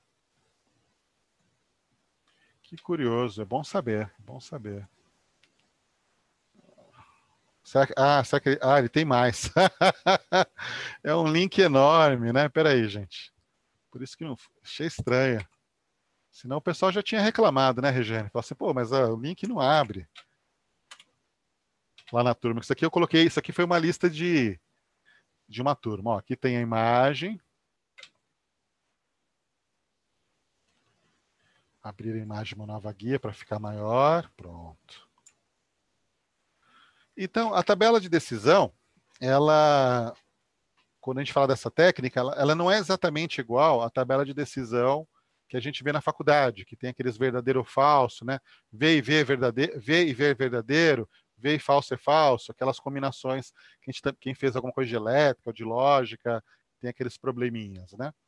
A gente aqui, a gente tem que olhar a tabela em si, tudo bem? Olhamos aqui a tabela em si. Ele tem aqui oito colunas, cada uma delas representa uma regra, então são oito regras. Uh, ele está colocando aqui para a gente é, que ele tem três condições e ele tem apenas uma ação, tudo bem? Que é pagar ou não pagar um bônus. Na verdade, nesse tipo de problema, nesse tipo de cenário, quando você tem uma tabela desse tipo, só que às vezes você não tem tabelas, você tem um texto, você tem uma conversa, mas aí quando você vai tendo um pouco mais de experiência, você saca que aquilo que você está conversando, na verdade, pode virar uma tabela de decisão. E aí você começa a desenhar, tudo bem? Então, isso aqui não é sempre uma conversa. Alguém, você poderia ter conversado com alguém numa entrevista, num bate-papo ali do time, e alguém te falar o seguinte: olha, existe a possibilidade de pagar um bônus para um funcionário, para um cidadão, enfim. É, ele tem que estar empregado há mais que um ano. Para ele receber, ele tem que estar empregado há mais de um ano, tudo bem? ele tem que ter atingido a meta, ele tem que ter aceitado a meta e ele tem que ter atingido a meta. Tudo bem? Então, são três condições. Ele tem que ter mais de um ano de casa, tem que ter aceitado participar daquela meta e tem que ter atingido a meta. Tudo bem? As três condições. Então, quando eu estava lá conversando, eu percebi que tem três, poxa, tem três condições. Caramba, já pode ser um número de testes razoável. Então, o que, que ele faz? Ele, você faz. Você vem e monta uma tabelinha. Tudo bem? É, se cada um deles, se cada um deles pode ter duas possibilidades, tudo bem? Se cada um deles pode ter duas possibilidades, então a gente pode representar aqui isso aqui, voltando lá ao nosso, ao nosso exemplo, isso aqui, aquela tabelinha lá, o máximo de possibilidades, o máximo de testes, seria igual ao número de possibilidades possibilidades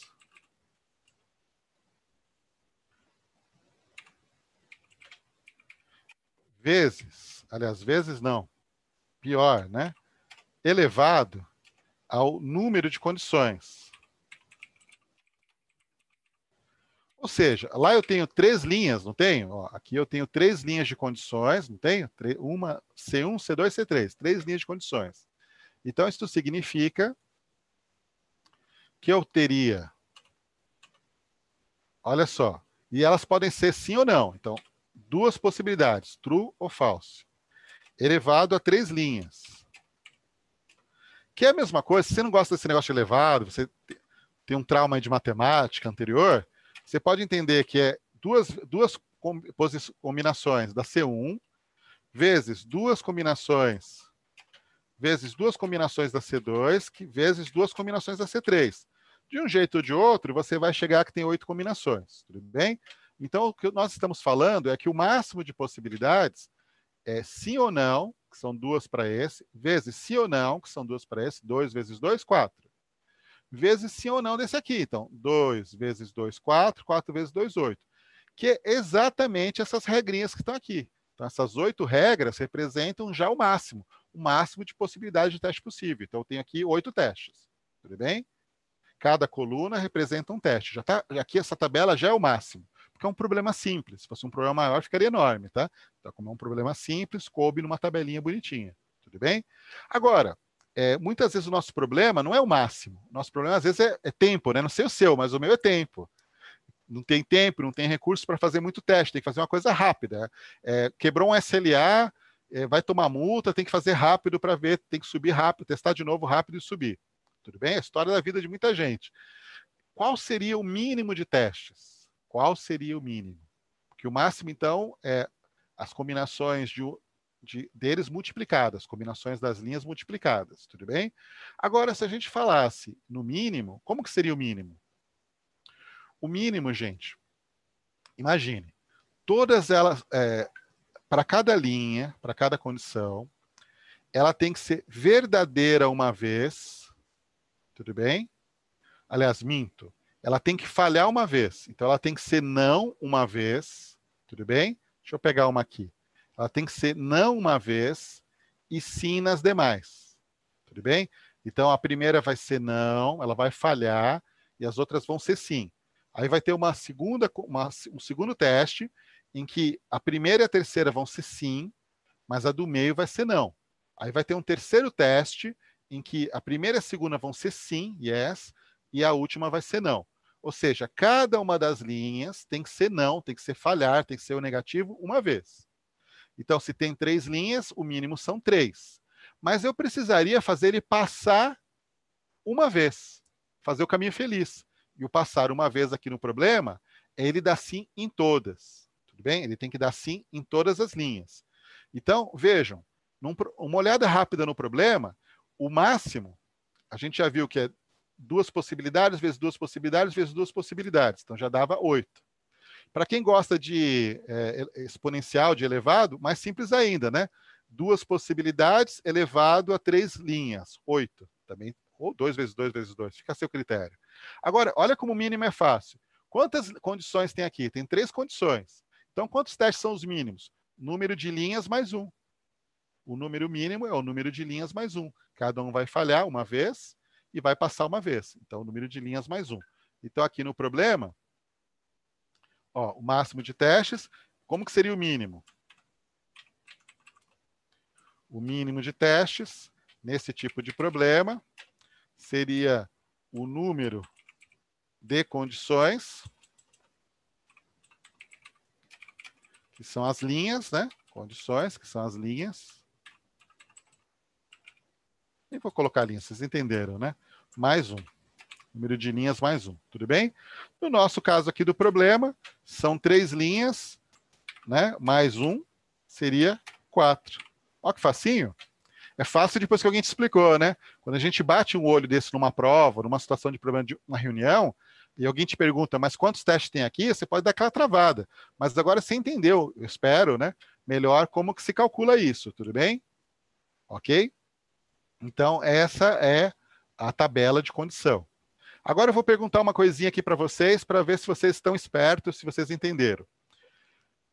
Vocês entenderam que o que falhar, o que vai falhar, é todas as condições vão dar sim, menos uma. Então, vai, vai dar é, no só na primeira linha, depois vai dar no só na segunda linha, depois vai dar no só na terceira linha, na terceira condição. E tem que ter um teste em que todos estão yes. Tudo bem? Então aqui tem o máximo, tem quatro testes. Escrevam o número da coluna que representa esses quatro testes para mim, por favor. Escreva aqui no nosso comentário o número da colu das colunas que representam os testes mínimos. Quais são eles? Será que é o R1, R2, R3, R4? Será que é o R1, R3, R5, R7? Me diga aí quais são os quatro testes que representam o mínimo. Tudo bem? Vamos ver se vocês conseguem.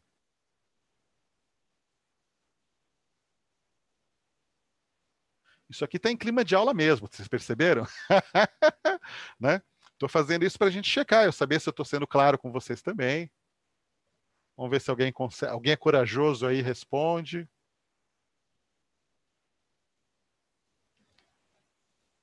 Tem que falhar uma vez, tem que dar no no primeiro e sim no C2 e C3. Ó. Não no primeiro e say yes no C2 e C3. A gente tem isso aqui na R8. Tudo bem? Então, R8 é a que falhou o C1. Qual é a que falhou o C2? A que falhou o C2 é a R5, tá vendo? As outras duas estão yes, as duas estão yes, e a do meio está não. Então, esse aqui é o segundo teste negativo. O terceiro teste negativo é só a última com no e as outras yes, que é o R3. Então, R8, depois R5, depois R3, são os três testes negativos, falhar cada um dos dois. E o caminho feliz é o que a Olga colocou também. Olga, Lilian, que o, o feliz seria o R7, né? O feliz seria o R7. Tudo bem? Beleza? Feliz seria o R7. Entenderam a ideia? Legal? É... O que, vocês acham? Pelo, pelo horário, vocês querem fazer mais uma dessas? Ou, ou deixo para a lista e vocês fazem e me colocam lá no grupo? O que, que vocês acham? Mais uma ou vai para a lista? Ó, tem mais uma aqui, ó. Tem mais duas. Nessa... Não, tem, é. Tem mais duas desse tipo. Isso ali o Roberto colocou R3, R5, R7, R8. Isso aí. Ó, vamos pegar mais uma para ver como vocês fazem. Aí essa número 9, vocês fazem lá na lista, tá? Lá na, no grupo. Eu pergunto e mesmo respondo, né? é, esses são vistos de quem dá aula, né? Tudo bem? Vamos lá. Probleminha de zoom. Mas nem importa muito. Oba! Olha só, meus amigos. Esse é um dos problemas clássicos, né? Problema para descobrir o triângulo, né? O famoso problema do triângulo. Tudo bem? Problema do triângulo. E repara, é, nem dá para ler direito aqui, né? Eu olhando assim, parece que ele tem 11 regras, tá? Porque a imagem está borrada. A imagem não importa. Tudo bem? Não importa. Se você sabe o que está fazendo, até que se ela tiver parecido, mais ou menos parecido, já resolve, né? É, Lilian, se você é, entrou no canal, se você entrar em qualquer vídeo, se alguém está assistindo a gravação é, mais tarde, vai estar tá nesse vídeo na descrição o link do canal. Se você entrar em qualquer outro vídeo da quarentena, quarentena 1, 2, 10, vai ter lá o link do canal do Telegram. Lá no canal do Telegram, a gente, depois da, da apresentação, a gente vai colocar o link do grupo, porque a gente tem um canal e um grupo. Nossa, mas por que, que tem um canal e um grupo? Porque tem gente que quer receber os materiais, mas não quer dar opinião, não quer ficar ouvindo os colegas comentando, esses ficam no canal. E tem todo o direito. Tem gente que não gosta de ficar pitando lá o Telegram o dia inteiro com pergunta, com coisa. Prefere o canal. Não quer ter essa interação. Agora, outros querem fazer interação. Por exemplo, responder as respostas, ver qual é a solução dos problemas. Esses vão ter que entrar lá no grupo para ver a solução do problema. Viu a solução do problema, não quer ficar mais no grupo, sai do grupo. Tudo bem? Então, na descrição do vídeo tem o link do canal e no canal tem a descrição do grupo. Então, são coisa confusa, mas dá certo, tudo bem? Então, entre no canal e do canal entre no grupo. Beleza? Ah, não, Olga, não vou fazer o 9, não. você, ruim, porque o 9 é, é, a situação mais comum no trabalho, tá? Que é você transformar o que está escrito, vamos transformar o que está escrito justamente no, na tabela, tudo bem? Então, o 9 é, não é que ele é mais difícil, mas você tem que transformar ele nas, nas linhas de condição, tudo bem? Mas aí depois, né, quando o pessoal responder lá no grupo, é, a gente responde também, tá bom? Vamos só dar um pouquinho de suspense para o pessoal, mas a gente vai chegar lá, tá bom? Agora, olha só. Se a gente reparar, aqui é, não dá para ler muito bem, tem algumas combinações, né? Mas a gente percebe que tem 11, né? Tá vendo? 1, 2, 3, 4, 5, 6, 7, 8, 9, 10, 11. Então tem 11 colunas, tudo bem? 11 colunas. E aqui, repare, ele tem sete condições, tudo bem? Tá percebendo que ele tem sete condições? Sete? Não, não são sete, peraí. Ah, são. Que engraçado, hein, gente? A menor que B. Ah, é, algum problema de numeração, né? Tá, tem, tá faltando quatro aqui, né? Então, na verdade, são seis condições, tudo bem? E as condições, elas são o, não, o grupo não, o grupo já existe. Você tem que entrar lá no grupo do Telegram, que é o canal. Primeiro você entra no canal que era inteira e depois no link do grupo, tá? Mas não vou responder ainda hoje não, porque hoje vai ficar um pouquinho tarde. Mas uh, a gente pode já resolver isso amanhã, durante o fim de semana eu coloco lá no grupo. Vou dar um tempinho para o pessoal fazer, né? Senão não tem graça, tá? Vou tentar ver se o pessoal responde lá no grupo, tá bom? É do Telegram, não é nosso grupo de WhatsApp, né? Porque o pessoal que faz a aula, eles têm um grupo do WhatsApp, que as turmas são menorzinhas, então cabe no WhatsApp. Não, não caberia no WhatsApp, porque lá no Telegram já tem mais de 400 pessoas, né? Mas vamos lá, vamos ao que interessa, não vamos ficar fazendo confusão, não. Vamos lá, o que interessa. É, seis regras, ó, seis linhas, tudo bem? Só true ou false, então são duas possibilidades elevado a 6 condições, duas possibilidades, true ou false, sim ou não, elevado a 6. Tudo bem? Isso seria o máximo. Tudo bem? E o mínimo? O mínimo agora ficou fácil, né? Vamos lá, vamos só relembrar. Ó. Vamos lá, de novo. Como que seria o máximo desse cara aqui? O máximo desse cara. Opa, estou olhando o 9. Vou fazer. É tanta Olga falar do 9, né? Vamos lá.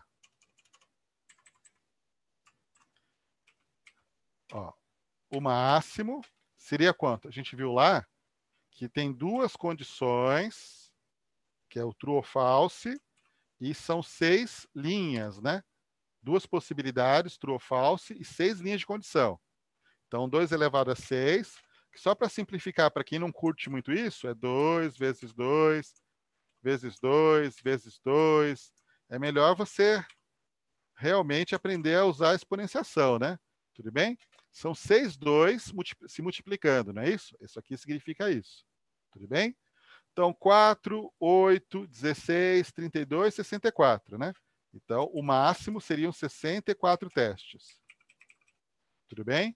O máximo seriam 64 testes, seriam todas as combinações de sim ou não possíveis, dessas seis linhas. E o mínimo? O mínimo seria o número de condições, que são seis condições, mais uma. Então, seriam sete testes o mínimo. Então, um mínimo de sete testes, um máximo de 64 testes. Tudo bem? Um mínimo de sete, um máximo de 64. Se eu voltar lá na imagem, eu sei que a imagem está ruim, mas é, será que essa imagem ela contém os, esses sete testes? Será que essa imagem contém esses sete testes? Ó, falhou um, falhou a primeira, falhou a segunda. Ó, é true ou nada, tá vendo? Esse nada também é mais ou menos como fosse o true, porque não chega lá, não avança, né? Mas poderia ser true. Então, se a gente reparar, ó, um, um, falhou o primeiro, falhou o segundo, falhou o terceiro. Uh, cadê um que falhou o quarto? Ó, falhou o quarto. Cadê um que falhou o quinto? Falhou só o quinto, falhou só o quinto, aqui o sexto, falhou só o, aliás, falhou só o sexto, esse daqui. Então, e, e, um que passou em tudo, esse com TT. Então, R1, R2, R3, R8, R6, R5 são os seis testes negativos, falhar cada uma das linhas, falhar cada uma das condições separadamente. E o R4 seria o é, teste do caminho feliz, o teste positivo. Então, aqui tem 11 testes. Não é nem o máximo, nem o mínimo. Olha, a gente já consegue sacar isso. Não é nem o máximo, nem o mínimo. Tudo bem? Mas ele inclui os sete que são mínimos. Porque se ele não incluísse os sete que são mínimos, estaria errado. Tudo bem? Então é mais ou menos que naquela ideia. Eu testei os sete que são mínimos e incluí alguns que eu considerei mais importante que já deram problema antes, já falharam, já tivemos reclamações, usa-se muito, acontece muito aquilo, entenderam? Mas poderia ser um tabelão de 64 possibilidades. Tudo bem? Então, fica uma ideia para vocês guardarem, que num problema como esse, as condições é que mandam. Não são as ações, não são as reações, são as condições. Tudo bem? Se eu tivesse aqui uma linha de ação ou, ou 20 linhas de ação, elas não importam para mim. O que me importam são as entradas, são as combinações de entrada, que são as condições. Essa é uma característica dessa técnica. Então, é uma técnica que, dependendo do que você escolher, vai gerar um preço diferente. Dependendo de como você preencher, vai fazer alguma coisa diferente. Tudo bem?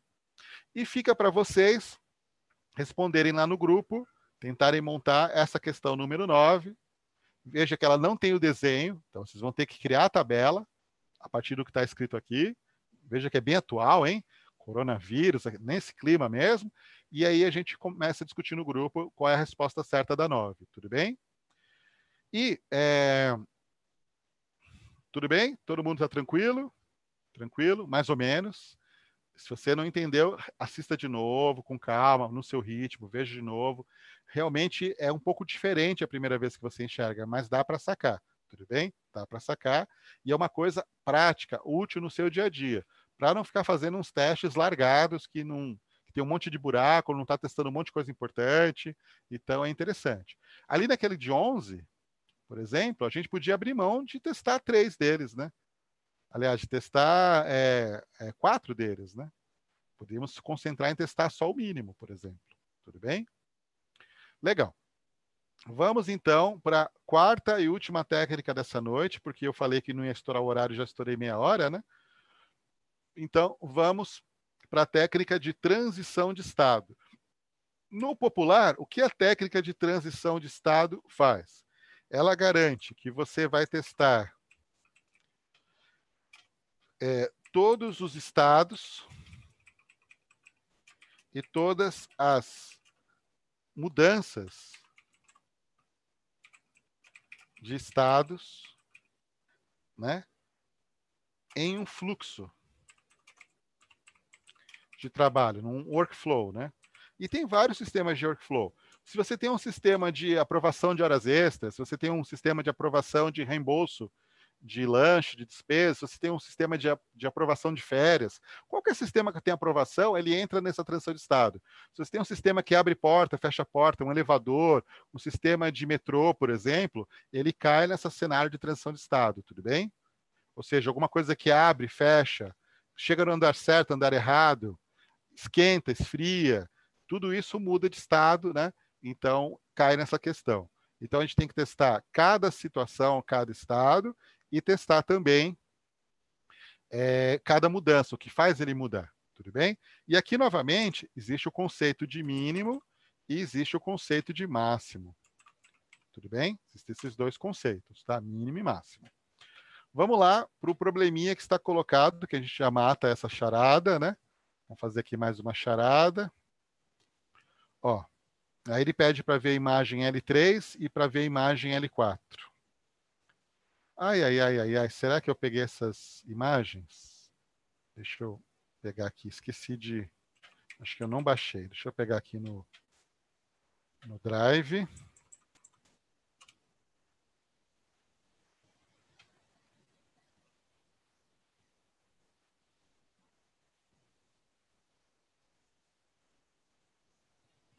Eu tinha separado aqui numa pastinha. Vamos lá. Eu acho que a L3 é essa daqui, que é a primeira, que é a mais simples, né? Então vamos baixar essa imagem. E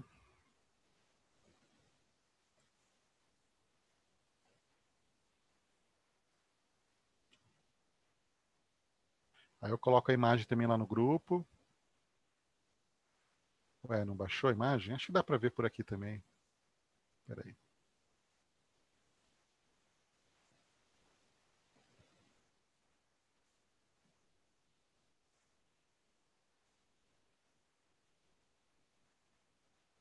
Que engraçado, né? Bem. Bugs nos perseguem, né? Que engraçado. Ó, vamos abrir com, sei lá, Document Viewer. Qualquer um serve, né? Document. Documentos do Google. Será que ele está com algum formato diferente? Devia estar tá com uma imagem. Vamos ver se vai. Que coisa. Tá rebelde.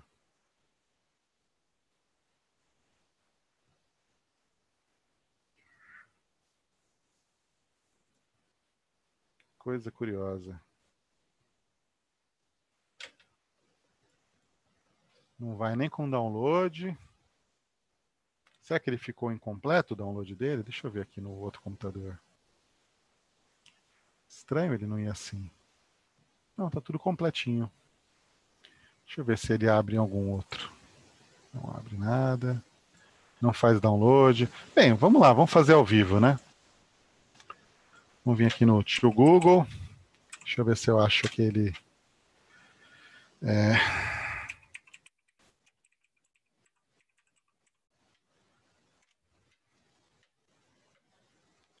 Vamos lá. Estranho, né? Achei bem estranho, mas enfim. Ao vivo sempre tem essas coisas. Ah, pode ser qualquer um, na verdade, né? Aqui você tem vários tipos de diagrama de transição de estado com várias possibilidades.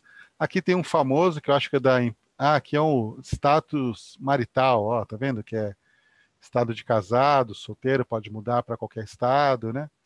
E ah, pode ser esse aqui, não tem problema. Ah, é um vídeo, peraí, aí já já é mais chatinho. Tan tan tan. É, qualquer um serve, qualquer um. Aí é difícil, tem muitas opções. Tentar pegar um simplesinho que não seja, ó, esse aqui pequenininho também. Também é pequeno demais. Ah. Ó, aqui alguém fez um pequenininho. Pronto. Depois a gente faz um maior, tá bom? Olha só. Vamos imaginar que tenha, então, aqui um estado S1 inicial, por exemplo, eu fiz o meu pedido de reembolso de despesas, tudo bem? Fiz um pedido de reembolso de despesas. É, quando eu crio, ele fica aqui no estado de novo. Aí alguém pode aprovar, então ele vem para esse estado verdinho. Depois que ele está aprovado, alguém mudou de ideia, ele pode reprovar. Então não dá para ficar feliz para sempre. Agora, se a gente está aqui no estado é, inicial, pode ir para o reprovado. Alguém pode pedir uma explicação, né? Ele voltar para o estado de novo para ser analisado e passar. Então, é mais ou menos como fosse um sistema aí de flegar se uma coisa foi aprovada ou reprovada, tudo bem? Pode ser um, um trabalho de conclusão de curso, pode ser um pedido, tudo bem? Então, tudo que começa, começa aqui como novo e tem aqui outros dois estados, o aprovado, o cancelado. Eu estou chutando, viu? Porque eu nunca vi esse exemplo antes, mas, né? Mas tem toda essa cara, não é mesmo? E aqui as transições relacionadas. Se a gente reparar, quantos estados tem? Eu até escolhi esse porque ele está numeradinho, tem letrinha, está bonitinho de explicar. Quantos estados tem aqui? Temos três estados, não é mesmo? Então, esse é um ponto legal. Quando a gente tem três estados, o nosso teste ele tem que passar por cada um desses três. Só que além dele passar pelos três estados, ele também tem que passar por todas as transições. E repare, ele colocou letras A, B, C, D aqui para as transições, então tem quatro transições. Então, é, tanto o, o, o, mínimo de teste como o máximo de teste tem que passar por tudo, tudo bem? O máximo é o mais fácil que tem em transição de estado. Sabe como que você faz para saber o máximo? Quantas setas tem? Quantas setas tem aqui? Tem quatro testes. Então, são quatro transições de estado. S1 para S2, S1 para S0, é, S0 para S1, é, S2 para S0, é, S, S0 para S1, enfim, tem essas quatro A, B, C e D aqui do desenho, tudo bem? Então, se a gente for pensar, se nós formos pensar é, aqui em qual é o mínimo nesse problema aqui, qual é o mínimo? Aliás, o mínimo não, que ainda não expliquei, mas qual é o máximo? Eu teria que contar as transições. Transição A, transição B, transição C, transição D. Então, seriam quatro testes, quatro transições. Todo mundo entendeu? Tranquilo, né? Então, a gente tem que fazer essas, testar essas quatro mudanças, ok? Agora, porque testando essas quatro mudanças, eu também passei pelos três estados. Fechou. Agora, quando a gente vai falar de mínimo, a gente tem que ser um pouco mais esperto. É como que eu faço é, para passar por tudo com o mínimo de esforço? Passar por tudo com o mínimo esforço. Normalmente, é, vale a pena você ter algum tipo de caneta marca-texto para resolver esse tipo de problema de mínimo, tá? Então, eu vou usar aqui uma canetinha. Deixa eu pegar aqui um amarelinho para ficar bem caneta marca-texto. Ó, eu nem sei se começa por aqui, mas tanto faz, como é um sistema fechado, né? Então eu viria aqui no, no S1. Aí no S1 eu iria para aprovado. Do aprovado eu iria rejeitar, iria para o S0. Aí no S0 eu ia aprovar para o S1 e rejeitar de novo pelo por cá. Então, um único teste, um teste mais extenso, eu consigo passar por tudo. Tudo bem? Vocês perceberam? Eu posso escolher um caminho, fazer um caminho, você podia escolher outro caminho, mas que você passasse por todos os, os, os estados e todas as setas. Então, um único teste, só que um teste longo, dá para passar por tudo. Ou quatro testes pequenininhos, seriam testar cada uma das letras. Tudo bem? Isso é o teste de transição de estado. Agora, olha só. Então, é quatro testes pequenos ou um teste grande. Parece um roubo, né? Porque na verdade você tem que testar tudo, né? Mas se a gente pensar, às vezes até para poder dividir na equipe que cada um vai testar, pode ser mais fácil fazer quatro testes pequenos do que fazer um teste grande. Esse teste de grande seria aquilo que a gente também no dia a dia chama de teste end-to-end, -end, né? aquele teste que é mais completo, que faz a transação como um todo, tudo bem? Agora, vamos escolher outra imagem lá para a gente fazer algo bacana, para vocês me dizerem um pouquinho de como funcionaria, para eu entender se vocês uh, enxergaram. Ó, vou pegar um, um, um pouco maior, mas não muito também, para não chutar o balde aí da estragar a amizade, né, num momento como esse, né? É, ó, esse, esse, é, ó, tem aqui do próprio ISTQB. Vamos ver se ele abre aqui. Ele já é maiorzinho. Isso aqui parece que foi tirado até de uma de uma de uma impressão, né? Tem uma cara de ter sido copiado do papel, né? Olha, é um isso aqui eu acho que eu até já usei em aula um exemplo desses, né? É um caixa eletrônico, né? Caixa eletrônico fora do Brasil. Aliás, cuidado quem vai viajar ao exterior, mesmo na América do Sul, Europa, Estados Unidos, porque dependendo do local que você está em, existem países que têm uma regra de engolir o cartão, tá? Então, existem países que têm essa regra de engolir o cartão se você errar senha três vezes. Então, em viagens internacionais, tome cuidado com isso, tá? Aqui no Brasil, por causa de, de questões jurídicas que já aconteceram, de alguns debates, ah, nenhum banco, nenhum caixa eletrônico pode engolir o teu cartão, porque afinal o cartão é teu. A jurisprudência no Brasil concluiu que o cartão é seu. Você paga pelo cartão, o cartão é seu. Em outros países, eles chegaram a uma conclusão que o cartão é do banco. Se o cartão é do banco, ele tem direito de engolir. Se o cartão é seu, você, o banco não tem direito de engolir. Olha que interessante a interpretação. E, muito curioso, né? Esse aqui é um sistema lá europeu. Então, ele, ele come o cartão, ele engole o cartão se você errar três vezes. Então, repara, você inicia, quando você inicia, você faz uma, uma, uma ação aqui de inserir o cartão. Aí você tem aqui ele esperando a senha, você, que é o PIN, né? Aí você insere a, a senha. Aí, se passou ele a senha, ele te, te libera ali o menu principal. Se não, ele te deixa tentar uma segunda vez. Passou na segunda vez, ele libera o menu principal. Se não, ele te tenta uma terceira vez. Passou a terceira vez, ele libera o menu principal. Agora, se você errar três vezes, ele simplesmente engole o seu cartão. Tudo bem? Meus amigos, quantos testes eu tenho aqui no máximo e no mínimo. Tudo bem? Como que é o máximo mesmo? Conte as setas. Então, conte as setas e me diga quanto que é o máximo.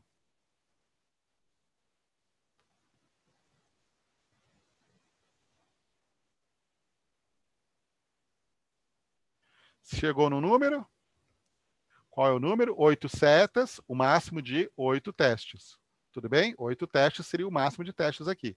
E o mínimo? Como seria o mínimo nesse caso? O mínimo, a gente tem que passar por todos os estados, tudo bem? A gente tem que passar por todos os estados, ou seja, todas as bolinhas, e passar por todas as setas, todas as transições. Se eu voltasse a fazer aquele desenho, olha só, eu começo aqui no estado inicial, vou colocar a senha, tudo bem? Aí eu poderia fazer aqui um teste que eu erro a primeira vez, tento a segunda, erro a segunda de novo, tento a terceira e erro a terceira vez. Então, com um teste, eu passei por quase todos os estados, faltou só o estado de aprovado, né? De ok, mas eu já testei negativo. Então, esse aqui foi o caminho triste, né? Esse aqui foi com todos negativos, tudo bem? Agora, veja que não tem jeito, né? Aqui nesse caso, como existem dois fins possíveis: o fim de ele comer o cartão. E existem três maneiras de chegar no acessou a conta. Eu vou ter que fazer um outro teste em que ele começa, tenta uma vez e acerta na primeira vez, só para fazer essa setinha e chegar aqui no final. Eu vou ter que fazer um, um terceiro teste, em que ele começa, tenta uma vez, tenta a segunda vez. Repare, eu já passei por todos os estados e eu tenho que na, passar na segunda vez para fazer esse teste aqui, essa última linha, essa última chegada. E, da mesma forma, eu teria que fazer um quarto e último teste justamente para, já ganhando um pouquinho de tempo aqui, fazer esse último e chegar aqui de uma quarta e última maneira. Tudo bem? Então, três maneiras positivas de chegar ao fim e uma maneira negativa. Interessante, né? Então, vale a pena ter uma caneta marca-texto, usar uma ferramenta eletrônica em cima do desenho para você enxergar os caminhos, tudo bem? Então, aqui tem três caminhos felizes, né? Três caminhos, um caminho principal, dois fluxos alternativos, né?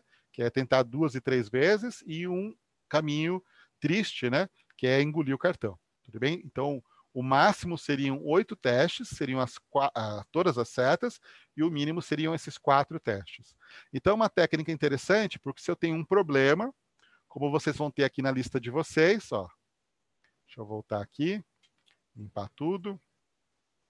Ó, aqui na lista de vocês, vocês vão ter, é, é vão ter três exercícios. Eu vou colocar lá as imagens da L3 e da L2 que não sei por que não está abrindo no Google Drive, vocês são minhas testemunhas, está até gravado que não abria, né? E aqui, olha que interessante, essa décima segunda. Baseado nesse texto, você tem que montar o seu diagrama de transição de estado. E aí calcular qual é o mínimo e qual é o máximo, tudo bem? Porque na vida real, a vida não é fácil e você não vai ter diagrama nenhum. Então você vai ter que criar o diagrama. Isso é, é o que acontece na prática, né? Então, por isso, mais três exercícios aqui legais para praticar. Tudo bem? Pessoal, perguntas aí sobre as, essas quatro técnicas, perguntas sobre outra técnica que você ouviu falar, que você gostaria de, de repente, ver a gente explicando, mostrando como, como resolver, como utilizar. Então, essas técnicas, elas são interessantes para a gente montar a massa de teste, para a gente montar a casa de teste, para a gente direcionar a nossa automação. Então, não é só blá, blá, blá, não é só decoreba, é uma coisa que realmente faz você enxergar de uma maneira um pouco mais ampla, de uma maneira um pouco mais sólida, as possibilidades de teste que tem no cenário. Tudo bem? Alguma pergunta, alguma colocação? Então, lembrando, vou colocar essa, essa lista que tem 12 exercícios, alguns nós já resolvemos, outros eu deixei para vocês resolverem. Uh, como tem amanhã um feriado, não sei quem vai, quem vai estar de folga no feriado ou não, é, vou deixar vocês responderem até segunda-feira, e aí na segunda-feira a gente explica as respostas. Vou dar aí três dias para vocês fazerem essa listinha, tudo bem? E aí coloquem lá o seu que você achou no, no grupo, não tem problema se errar, estamos todos entre amigos, faz parte do aprendizado, né?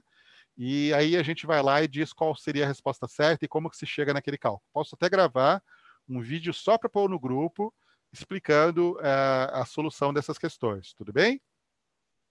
Ok? Legal? Se você gostou, procure compartilhar com seus colegas de trabalho, com seus amigos, coloque nas suas redes sociais, pode ajudar outras pessoas, tanto pessoas que às vezes têm dúvidas sobre usar essas técnicas no trabalho, como pessoas que às vezes vão prestar certificações, como CTFL, CETAL, que são tipos de questões como essa que também podem aparecer numa prova, né? Porque ela justamente avalia esse tipo de situação. Perfeito? Então, por favor, é, não seja econômico, deixe seu like se você ficou até aqui, que ajuda a, o vídeo a chegar até mais pessoas. Compartilhe, faça sugestões, né? Isso, entra no Telegram. É, se você não quiser depois ficar no grupo, Humberto, você. Porque tem o canal que vai as informações, e no grupo tem às vezes as discussões. Então, é, se você entrar no canal, vai ter lá a provinha, de qualquer forma. E se você quiser entrar no, no grupo, aí vai ter a discussão das respostas, tá? Eu posso até colar o vídeo com as respostas no canal também depois, não tem problema, tá? É que no canal vocês não conseguem falar, é só eu falo, tá? E é uma coisa meio estranha, né? E no grupo aí todo mundo pode falar, tá bom? Então tem os dois, funciona do, do mesmo jeito. É, se você, é, vou colocar o link aqui no, no nosso Vou colocar o link aqui na nossa descrição do canal, tá bom? Assim que eu terminar a gravação, uma meia horinha depois, a gente já coloca o link aí, tá bom? Se você for em qualquer outro vídeo, já está lá o link do Telegram, tá bom? Tranquilo, pessoal? Legal, então. Foi um prazer estar aqui com vocês de novo.